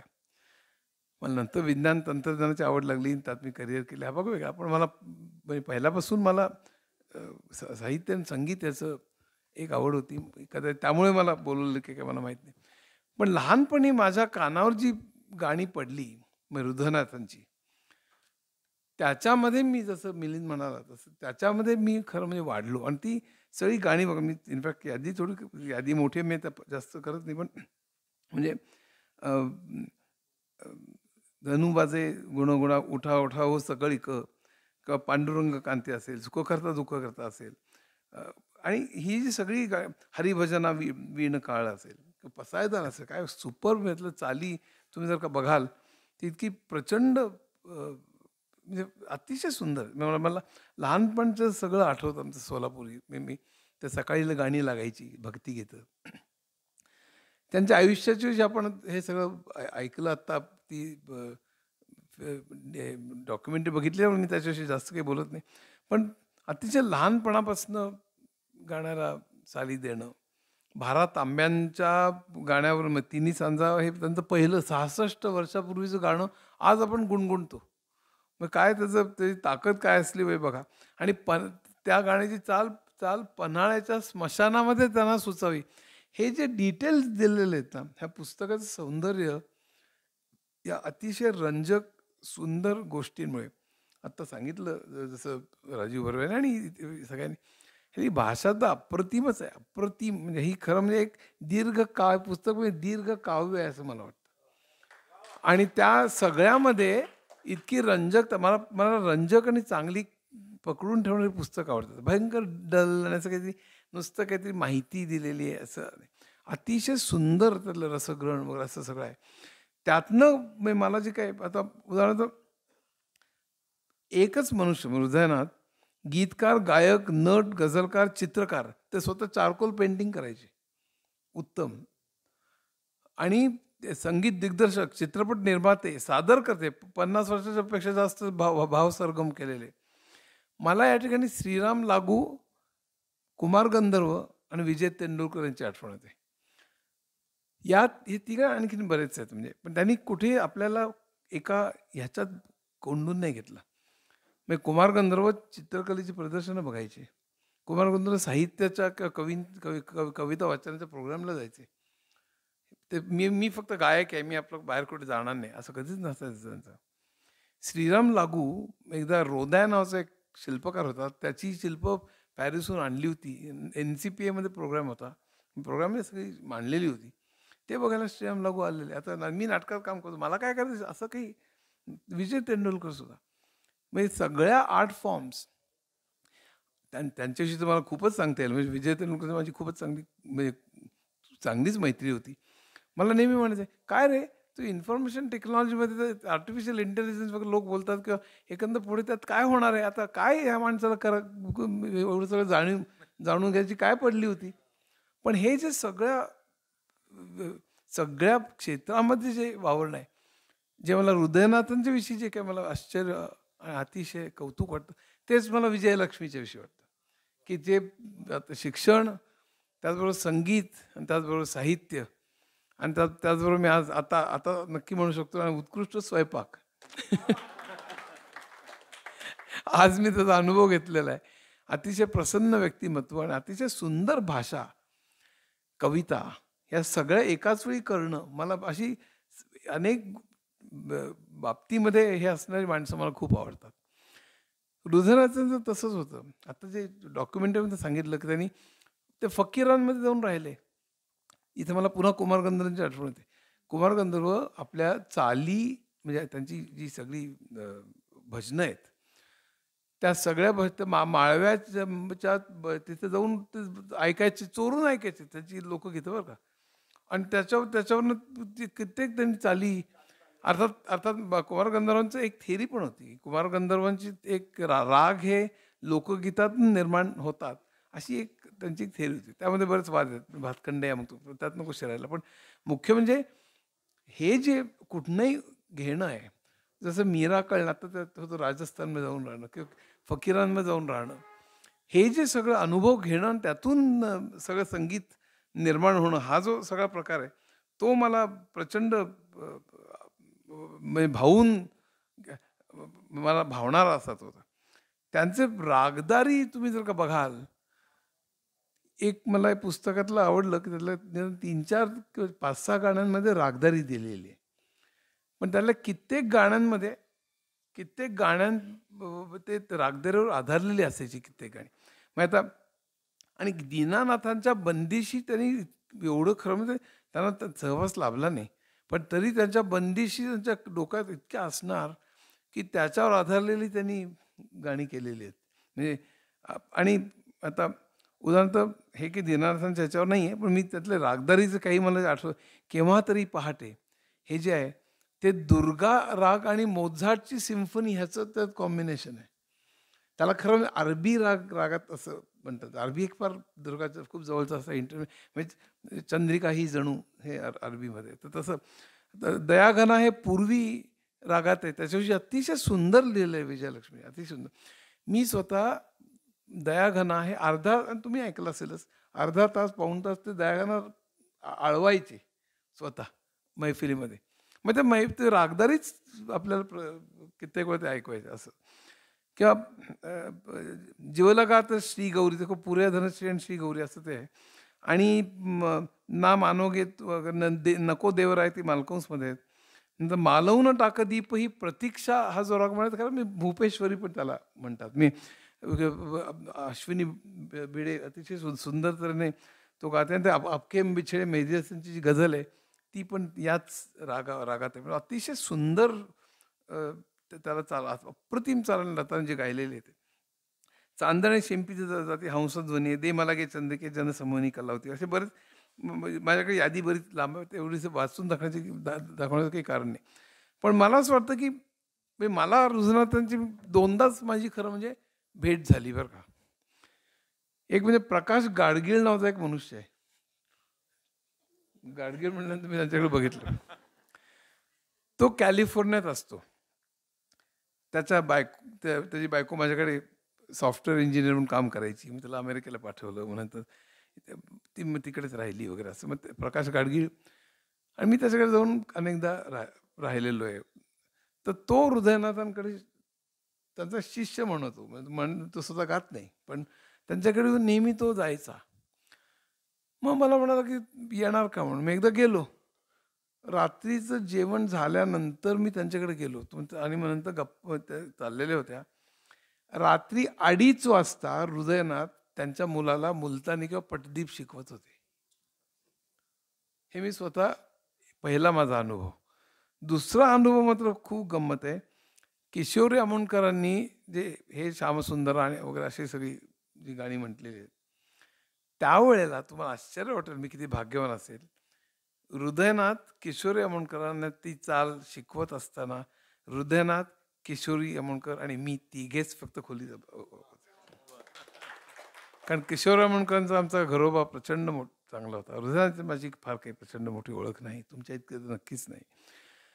पण हे मी सगळं एवढं मी नक्कीच बघितलेलं. बाकी मग त्यांचे प्रोग्राम्स मी अटेंड केले. पण मला त्यांची गाणी खरोखर अतिशय आवडतं. आणि मला आता मी फक्त काही एक तीन चार मिनटात मी संपवणार आहे. या पुस्तकामध्ये ज्या काही गाण्यांची ज्या बॅकग्राऊंड जी दिलेली आहे त्या गाण्याच्या जन्मकथा ते गाणं सुचलं कसं? त्यातले काही मी आणि त्यातली कशी भाषा किती सुंदर आहे ह्याच्याकरता मी काही नमुने मी फक्त हे करणार आहे. मग दयागानाचं तर मी सांगितलंच की दया त्याच्यामध्ये म्हणजे किंवा राजा सारंगा हे जे कोळी घेतलेलं तेव्हा शांता शेळकेने कधी समुद्र समुद्र त्यांना काहीच माहीत नव्हतं. मग ते त्यांनी कसं समजावून सांगितलं? मग ही सगळी हे करताना किंवा ही दयाघानाची सुद्धा एका ह्याच्यावरून घेतलेलं आहे. त्या पूर्वी रागावरती ते एक म्हणजे रसूल र- रसूल अल्ला पीर न पीर कर दो बेडा पार हमारा. अशी एक पारंपरिक बंदिश त्यांनी गीतकार सुधीर भोगे यांना ऐकवली आणि त्यावर गाणं लिहून घेतलं. चित्रपट होता घर संसार. वर्ष होतं एकोणीसशे ऐंशी गीताचं जन जन्मस्थळ होतं मुंबईचं जगप्रसिद्ध प्रभुकुंज निवास. पवित्र कला मंदिर असं भाषा किती सुंदर वापरली बघा. त्यामध्ये अरे जन्म बंदिवास सजा सजा इथे प्रत्येकास. म्हणजे इथे शब्दसू किती सुंदर आहेत बघा. त्याच्यावरनं मला इथे म्हणजे जग हे बंदीशाळा जे बाबूजींचं गाणं आहे ते मला आठवलं. किंवा एक शोभा गुटूंची गझल आहे क्यों मुझे मौत के पैगाम दिए जाते हो? मला मला मरणाची शिक्षा कशाला देतोस? मी मी जगते ही शिक्षा काही कमी की काय क्यों मुझे मौत के पैगाम दिए जाते हो? ये सजा कम है कि मैं जी, जिए जाते हैं? अशी अतिशय सुंदर।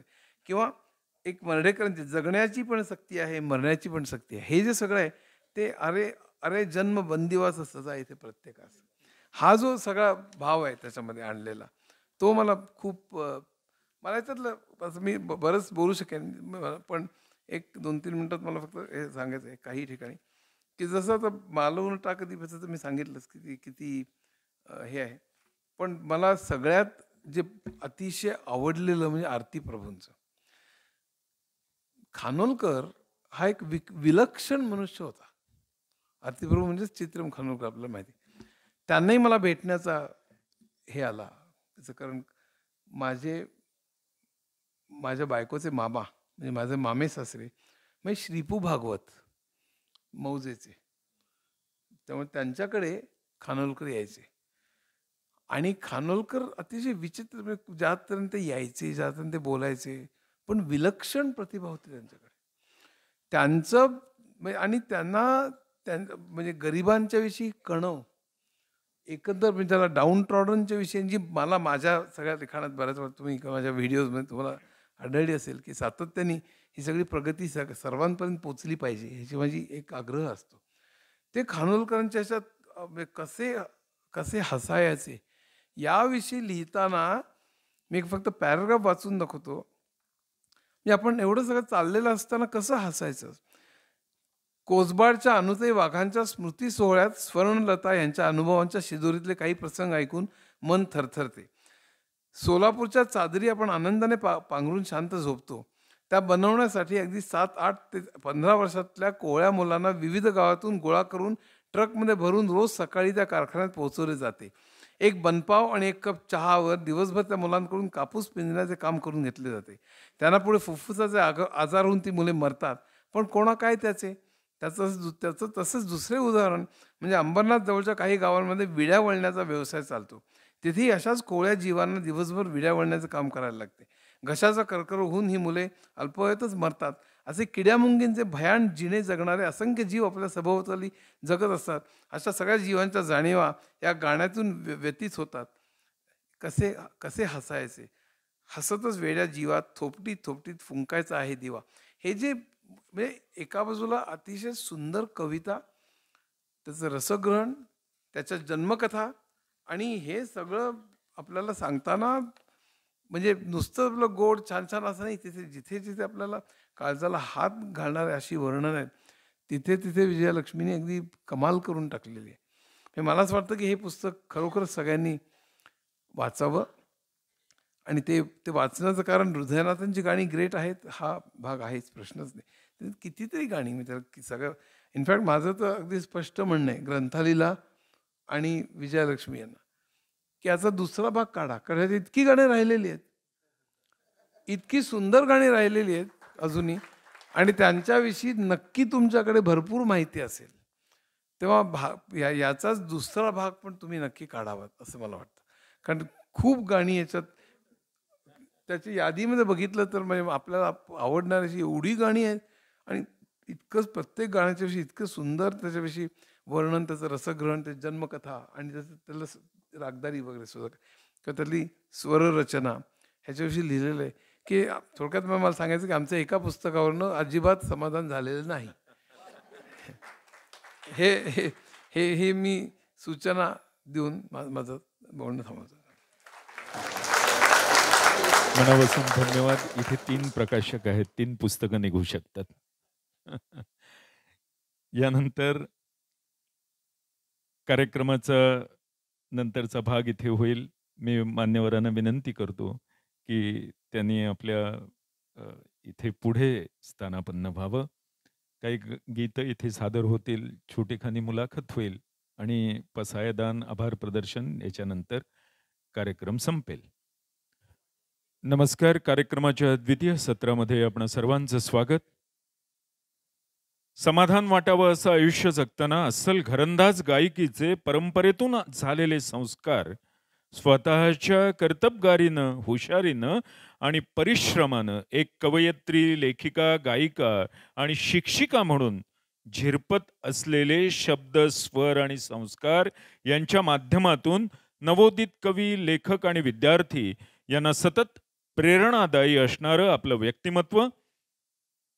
अक्षरांच्या चांदण वाटेने प्रवास करत काव्यसंग्रह कथासंग्रह यांना आपल्या अक्षर ओंजळीत घेत स्वरांच्या साथीनं चाललेला आयुष्याचा आपला सुंदर प्रवास वडिलांच्या समर्थ असा संगीत गायकीचा संगीत भजनाचा परंपरेचा वारसा चित्रपटगीत भावगीत नाट्यगीत ख्याल गायकी अन्य बाजांची उसनवारी न करता स्वतःची आणि घराण्याची उपासना करत देवदयेने लाभलेल्या मंजूळ स्वराला डोळसपणे घरंदाज संस्काराचा संस्कारक्षम साथ चढवून ज्येष्ठ गुरुजनांचा आदर करून मैफिलीची संख्या न वाढवता गानविद्येचं आणि लेखन शैलीचं ऐश्वर वाढवून आज आपल्याच गुरुच्या ऐश्वर्याचं वर्णन शैली आपल्या हातून शब्दबद्ध झालेलं रामभुलीचं प्रदेश या पुस्तकाच्या निमित्तानं आज ग्रंथालीतर्फे आपणाला सन्मानित करण्यात येत आहे. मी धनश्री धारप कार्यक्रम संयोजक ग्रंथाली यांना विनंती करतो की त्यांनी विजयाताईंना सन्मानित करावं.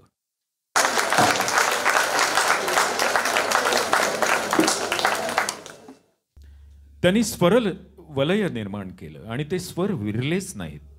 रसिक हृदयावर ते कायमचे कोरले गेले. त्यांच्या गात्रातून ते मुक्तपणे विहरताना दिसतात. प्रत्येकाच्या जगण्याचा श्वास होतात ते वेड लावतात. ते स्वर. त्या स्वरांनी मी विजयाताईंना विनंती करतो की त्या स्वरांनी त्यांनी या दुसऱ्या सत्राच्या कार्यक्रमाची सुरुवात करावी. आपण कधी कधी कधी आपल्याकडनं आपण कल्पना न केलेलं काम होतं. आपण कधी त्या गोष्टीचा विचार केलेला नसतो असं काहीतरी आपल्याकडे होतं. आपल्या कडून ते होतं. तर मला असं वाटतं की ते आपल्याकडून होत नाही ते कोणीतरी आपल्याकडून करून घेतं आणि तो ईश्वर असतो किंवा आपण ज्याला ईश्वर मानतो अशी व्यक्ती आपल्याकडून ते करून घेते. आणि मी मी पंडितजींनाच ईश्वर मानते. म्हणजे माझा जो काही हा प्रवास आहे गेल्या सहा सात वर्षांचा त्याला त्याच्यातून मला जी काही अनुभूती आलेली आहे त्यांच्या एकूणच व्यक्तिमत्वाची त्यानंतरच मला हे सगळं काही प्रतिभा आली असं आपण म्हणूयात आणि सुचलं आहे आणि एका पंडितजी नेहमी एक गोष्ट सांगतात की ज्याचे श्रेय श्रेय त्याला द्यावे. कुठल्याही गोष्टीचं स्व श्रेय आपण स्वतःकडे ठेवून घेऊ नये. तर आता हे जे काही माझ्या आयुष्यात इतकी मोठी व्यक्ती आली आणि त्यांनी मला काही मार्गदर्शन केलं ह्याचं सगळ्यात पहिलं श्रेय जर आहे इथे कोणाला देण्यासारखं तर समोर बसलेले प्रशांत जुन्नरेजी आहेत त्यांना द्यायला पाहिजे. कारण काही वर्षांपूर्वी आम्ही बाबास थिएटर्स आणि आमची शाळा मिळून इथे वर्कशॉप घेतला होता पंडित हृदयनाथ मंगेशकरांचा. आणि ते स्वतःहून माझ्याकडे त्यावेळी आले होते की आपण असं करायचं का? आणि आम्ही तो झाला न भूतो न भविष्य ते असा तो वर्कशॉप झाला. कारण एखाद्या संगीताच्या वर्कशॉपला चारशे रजिस्ट्रेशन होणं चारशे विद्यार्थ्यांनी वय वर्ष आठपासून ऐंशीपर्यंतच्या विद्यार्थ्यांनी त्याच्यासाठी रजिस्ट्रेशन करून ते शिकणं. म्हणजे हा एक वेगळाच काहीतरी अनुभव सगळ्यांनी घेतलेला होता. आणि त्यानंतर माझा हा खरं शिकण्याचा प्रवास सुरू झाला. आणि माझं संगीत जे आहे ते मला बालपणापासूनच मिळालेलं आहे. माझ्या वडिलांकडून मिळालेलं आहे ते मला. ते चालू होतंच. पण म्हणतात ना आपल्या आयुष्यात खूप काही स्थित्यंतरे येतात आणि मग काही काही काही गोष्टी आपोआप लुप्त होत जातात. तसं ते थोडंसं झालं होतं म संगीताकडे माझं दुर्लक्ष. परंतु तेव्हापासून पुन्हा पंडितजींनी जेव्हा मार्गदर्शन करायला सुरुवात केली आणि त्यांनी सांगितलं की आयुष्यात जर तुला खरंच काही करावंसं वाटत असेल तर तुझं संगीत पुर परत सुरू कर. कारण की लाखो माणसांना खूप काही देव देऊन पाठवतो पण संगीत सगळ्यांना देत नाही तो. त्यामुळे तुला संगीत मिळालेलं आहे तुझ्या घराण्यातून ते आलेलं आहे तर तू ते चालूच ठेव आणि त्याचा रियाज कर. आणि त्याच्यानंतर हा माझा संगीताचा प्रवास सुरू झाला आहे तर आता कालच म्हणजे आषाढी एकादशी होती आणि आपण त्या याच्यात आहोत सगळेजण. तर पहिलं गाणं जे आहे ते पहिलं कडवं एक कडवं मी गाईन.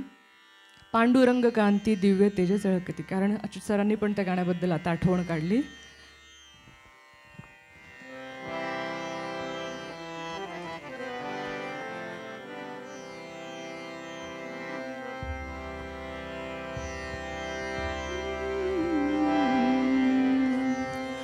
पांडु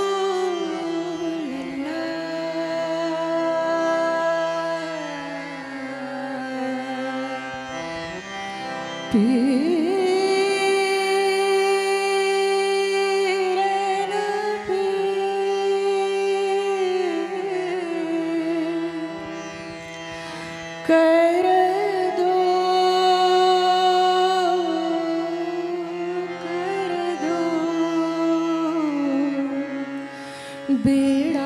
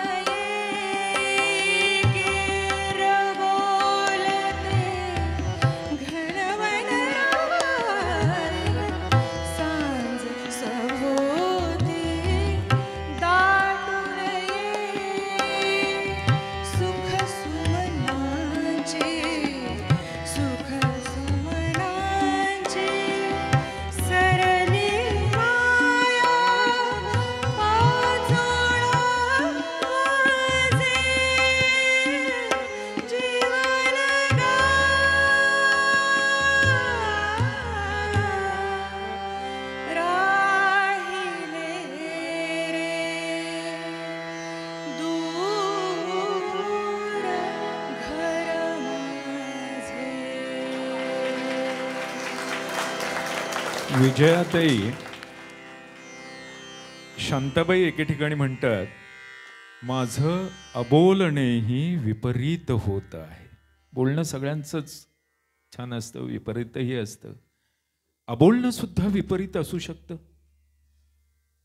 कवी कवयित्री एक संवेदनशील सर्जक मन असावं लागतं हे सगळं घडण्यासाठी. जगण्यातलं सौंदर्य आणि क्रूपता याची जाण असणं आवश्यक असतं. स्वरमंगेशाचं देणं घेऊन आपण जन्माला आलात. हे सुंदर स्वप्न आपण कधी पाहिलं आणि आज ते प्रत्यक्षात उतरताना आपल्याला नेमकं काय वाटतं? मला काय वाटतं? मला बोलताच येणार नाही. कारण की मला फक्त भरून येतं त्यांची आठवण आली की मी न बोललेलंच जास्त चांगलं आहे. हे पुढचं गाणं मी जे सादर नाही एक एक सेकंड रानभुलीचे प्रदेश हे शीर्षक कसं काय सुचलं? कसं सुचलं? मग अशी सांगितलं सरांनी बरोबर सरांनी. रानभूल. म्हणजे आपण एखाद्या म्हणजे रानात गेल्यानंतर जर का सगळीकडून हिरवे पक्षी हिरवीच पानं हिरवीच झाडं असतील तर आपल्याला ती भूल पडते. असं म्हणतात की भुलन वेली वेलीचा आपल्याला स्पर्श होतो. आणि ते भुलन वेलीचा जर का आपल्याला स्पर्श झाला तर आपण आपली भ्रांत विसरतो. आणि भ्रांत विसरल्यानंतर आपण तिथेच भुलून पडतो. तसं ही गाणी ऐकताना मला वाटतं त्यांचं एक एक गाणं म्हणजे एक एक प्रदेश आहे. ते शिकायलाच माझा सगळा संपूर्ण जन्म जाणार आहे. कारण ती गाणी कोणी गायलेली आहेत? ज्यांना आपण साक्षात सरस्वती म्हणतो अशा आणि आपण ती प्रयत्नसुद्धा करू नयेत खरं म्हणजे. पण कधी आपल्याला राहत नाही ना आपल्याला सगळंच करून बघायचं असतं आणि त्याचा माणूस म्हणून शेवटी ती गोष्ट येते आणि इच्छा आपण मारत नाही आणि म्हणून काहीतरी असा एक विफल पत्र प्रयत्न करायला लागतो. आणि त्यांची एक एक गाणी ऐकताना खरं ह्याचं मूळ जे आहे ना ते माझे वडील आणि माझे काका समोर बसलेले आहेत. असे एखादेच पालक असतील की एकाच वेळी गेल्यानंतर वीस वीस कॅसेट्स विकत घेऊन यायच्या मग ते बसवायचं समोर मग त्या ऐकायच्या आणि सातत्याने आम्ही तर ऐकायचं. पंडितजींच्या इतक्या कॅसेट्स त्यावेळी यायच्या आणि ते कॅसेट्स भावार्थ माऊलीच्या असतील किंवा भगवद्गीतेचे श्लोक असतील किंवा मैत्रजीवांचे गीत हे जीवनाचे खूप खूप त्यांचे म्हणजे ती नंतर जैत्रे जैत आल्यानंतर तर मला एक प्रसंग आठवतो. आमच्या काकांनी हार्मोनियम काढली. मी रात टाकली मी कात टाकली. त्या गाण्याचं जे पहिलं म्युझिक खूप असं वेगळं. आहे ते स्व ते मला म्हणाय आम्हाला सगळ्यांना सांगायचे की हे बघा हे स्वर कुठून कुठे चाललेले आहेत? आणि ही स्वरांची जी वलयं निर्माण केलेली आहेत असं असं वल म्हणजे आधी खालचा असा मध्येच मधला असा मध्ये त्यांना जेव्हा आपण एखादा राग विचारतो तेव्हाही ते म्हणतात की मध्यमापासून हा राग आहे आणि खालच्या षड्जापासून हा राग आहे. खालच्या म मंत्र म्हणजे सप्तकातला हा राग होतो. म्हणजे एवढी माझी तरी बुद्धिमत्ता नाही आणि मला नाही वाटत कोणाची असेल. असं आमच्या लहानपणी जेव्हा ही कॅसेट्स ऐकायच्या त्यांना आम्हाला त्यांनी आम्हाला अशी सवय लावली माझ्या वडिलांनी काकांनी की अभ्यास पूर्ण ते ऐकायचं. आणि मग त्याची ती भूल जी तेव्हापासून पडलेली आहे आपल्याला लहानपणी कशाची तरी भूल पडलेली असते आपल्या मनात कुठेतरी ते अबोध मनात जाऊन बसलेलं असतं अबोध हा शब्दसुद्धा पंडितजींचा आहे. ते नेहमी सांगतात की अंतर्मुख व्हायला शिकायला पाहिजे. अंतर्मुख हो अलिप्त हो. सगळ्या गराडात राहूनसुद्धा जर का तू तुझा अलिप्तपणा जपलास तर तू काहीतरी करू शकशील आणि तेच खरं जगणं आहे असं त्यांचं म्हणणं आहे. तर ते अबोध मनातले स्वर बालपणीचे कुठेतरी होतेच ते आणि परत आले आणि त्याच्यानंतर परत एकदा ती गाणी सगळी ऐकायला सुरुवात केली. आणि मग ते एक एक गाणं आपल्या मनात जसं राहतं ते आपण अनेक वर्ष तेच गाणं गुणगुणत राहतो. म्हणजे त्या गा जी जेवढ्या वेळा आपण ती गाणी ऐकतो तेवढ्या वेळा आणखी वेगळं वेगळं काहीतरी उलगडत जातं. की अरे हे असं आहे अरे हे असं नाही आहे हे असं आहे. आणि अशी ती भूल पडते म्हणून मी रानभुलीचे प्रदेश असं मला वाटलं की असं काहीतरी नाव द्यावं. अं, कसं आहे की केवळ काव्यात्मकता असलेली आणि गेयता नसलेली अशी अनवट गीतच पंडितजींनी निवडली आणि त्याला त्यांनी चाली लावल्या. प्रयोग करण्याची ईर्ष्या आणि नवीन स्वर प्रस्थापित करून आव्हान स्वीकारण्याची वृत्ती ही त्याच्यात दिसते. गुरुकडून नेमकं तुम्ही हे घेतलं का हो?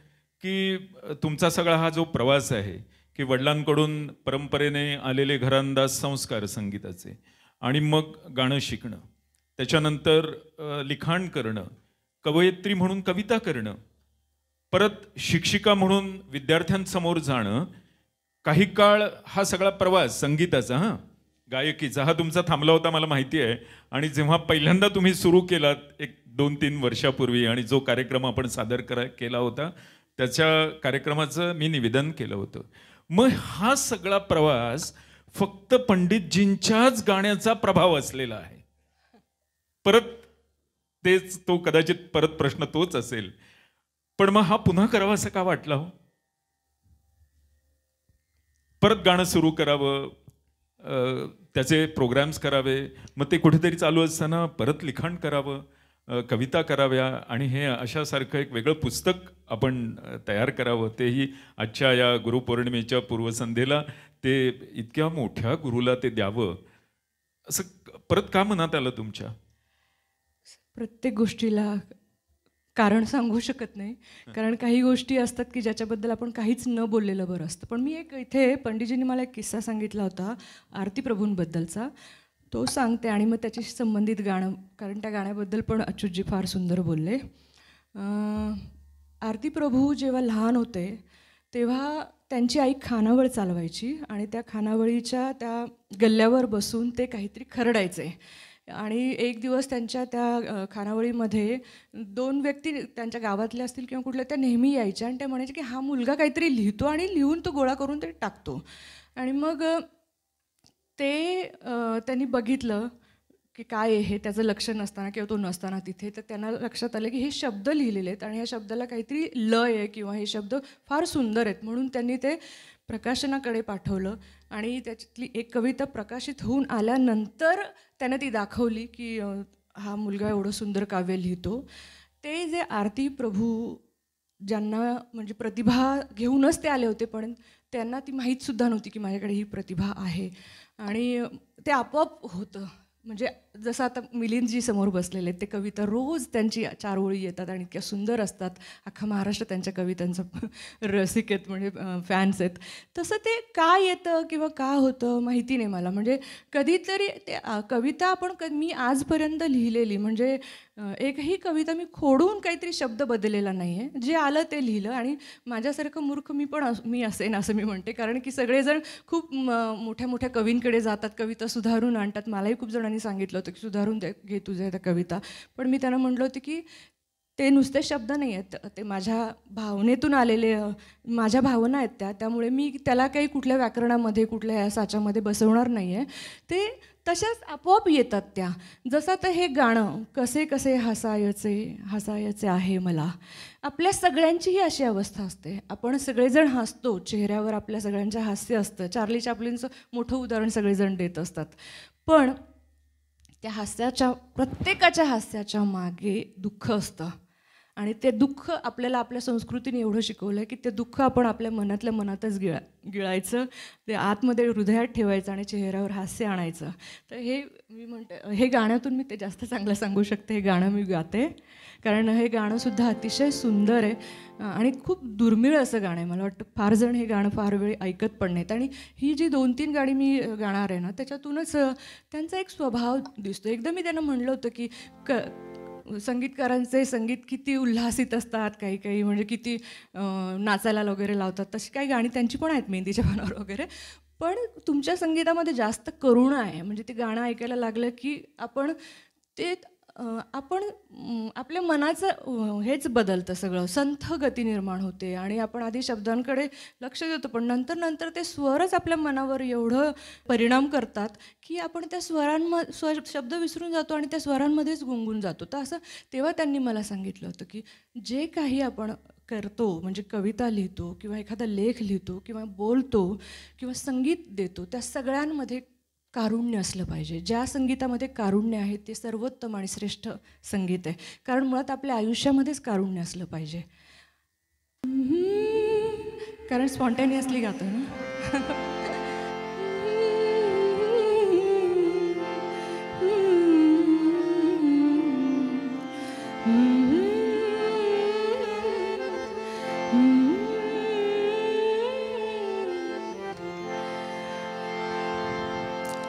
कसे कसे हसायाचे हसायाचे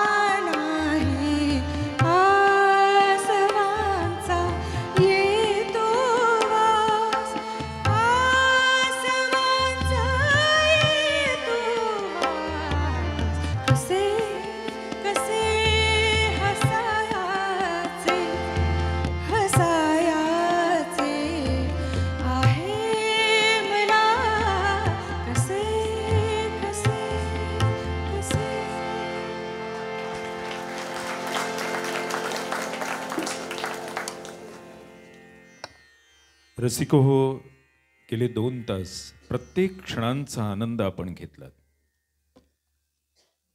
या सर्व मान्यवरांनी केवळ आनंदच आम्हाला दिला. धन्यवाद या शब्दात वाद आहे आणि आभार शब्दात भार आहे.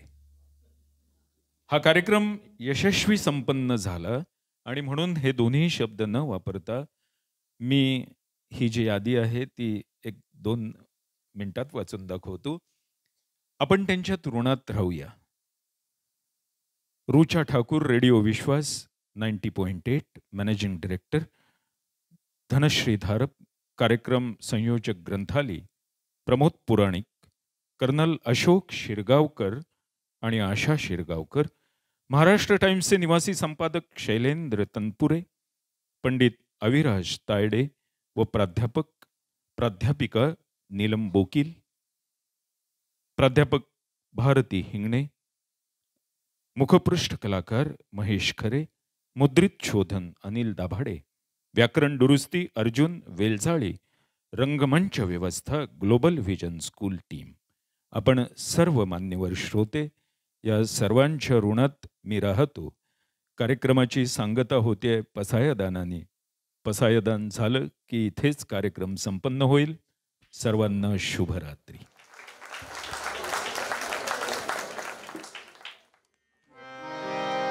आता विश्वात्मके देवे येणे वाग्यज्ञे तोषावे तोषोनी मज द्यावे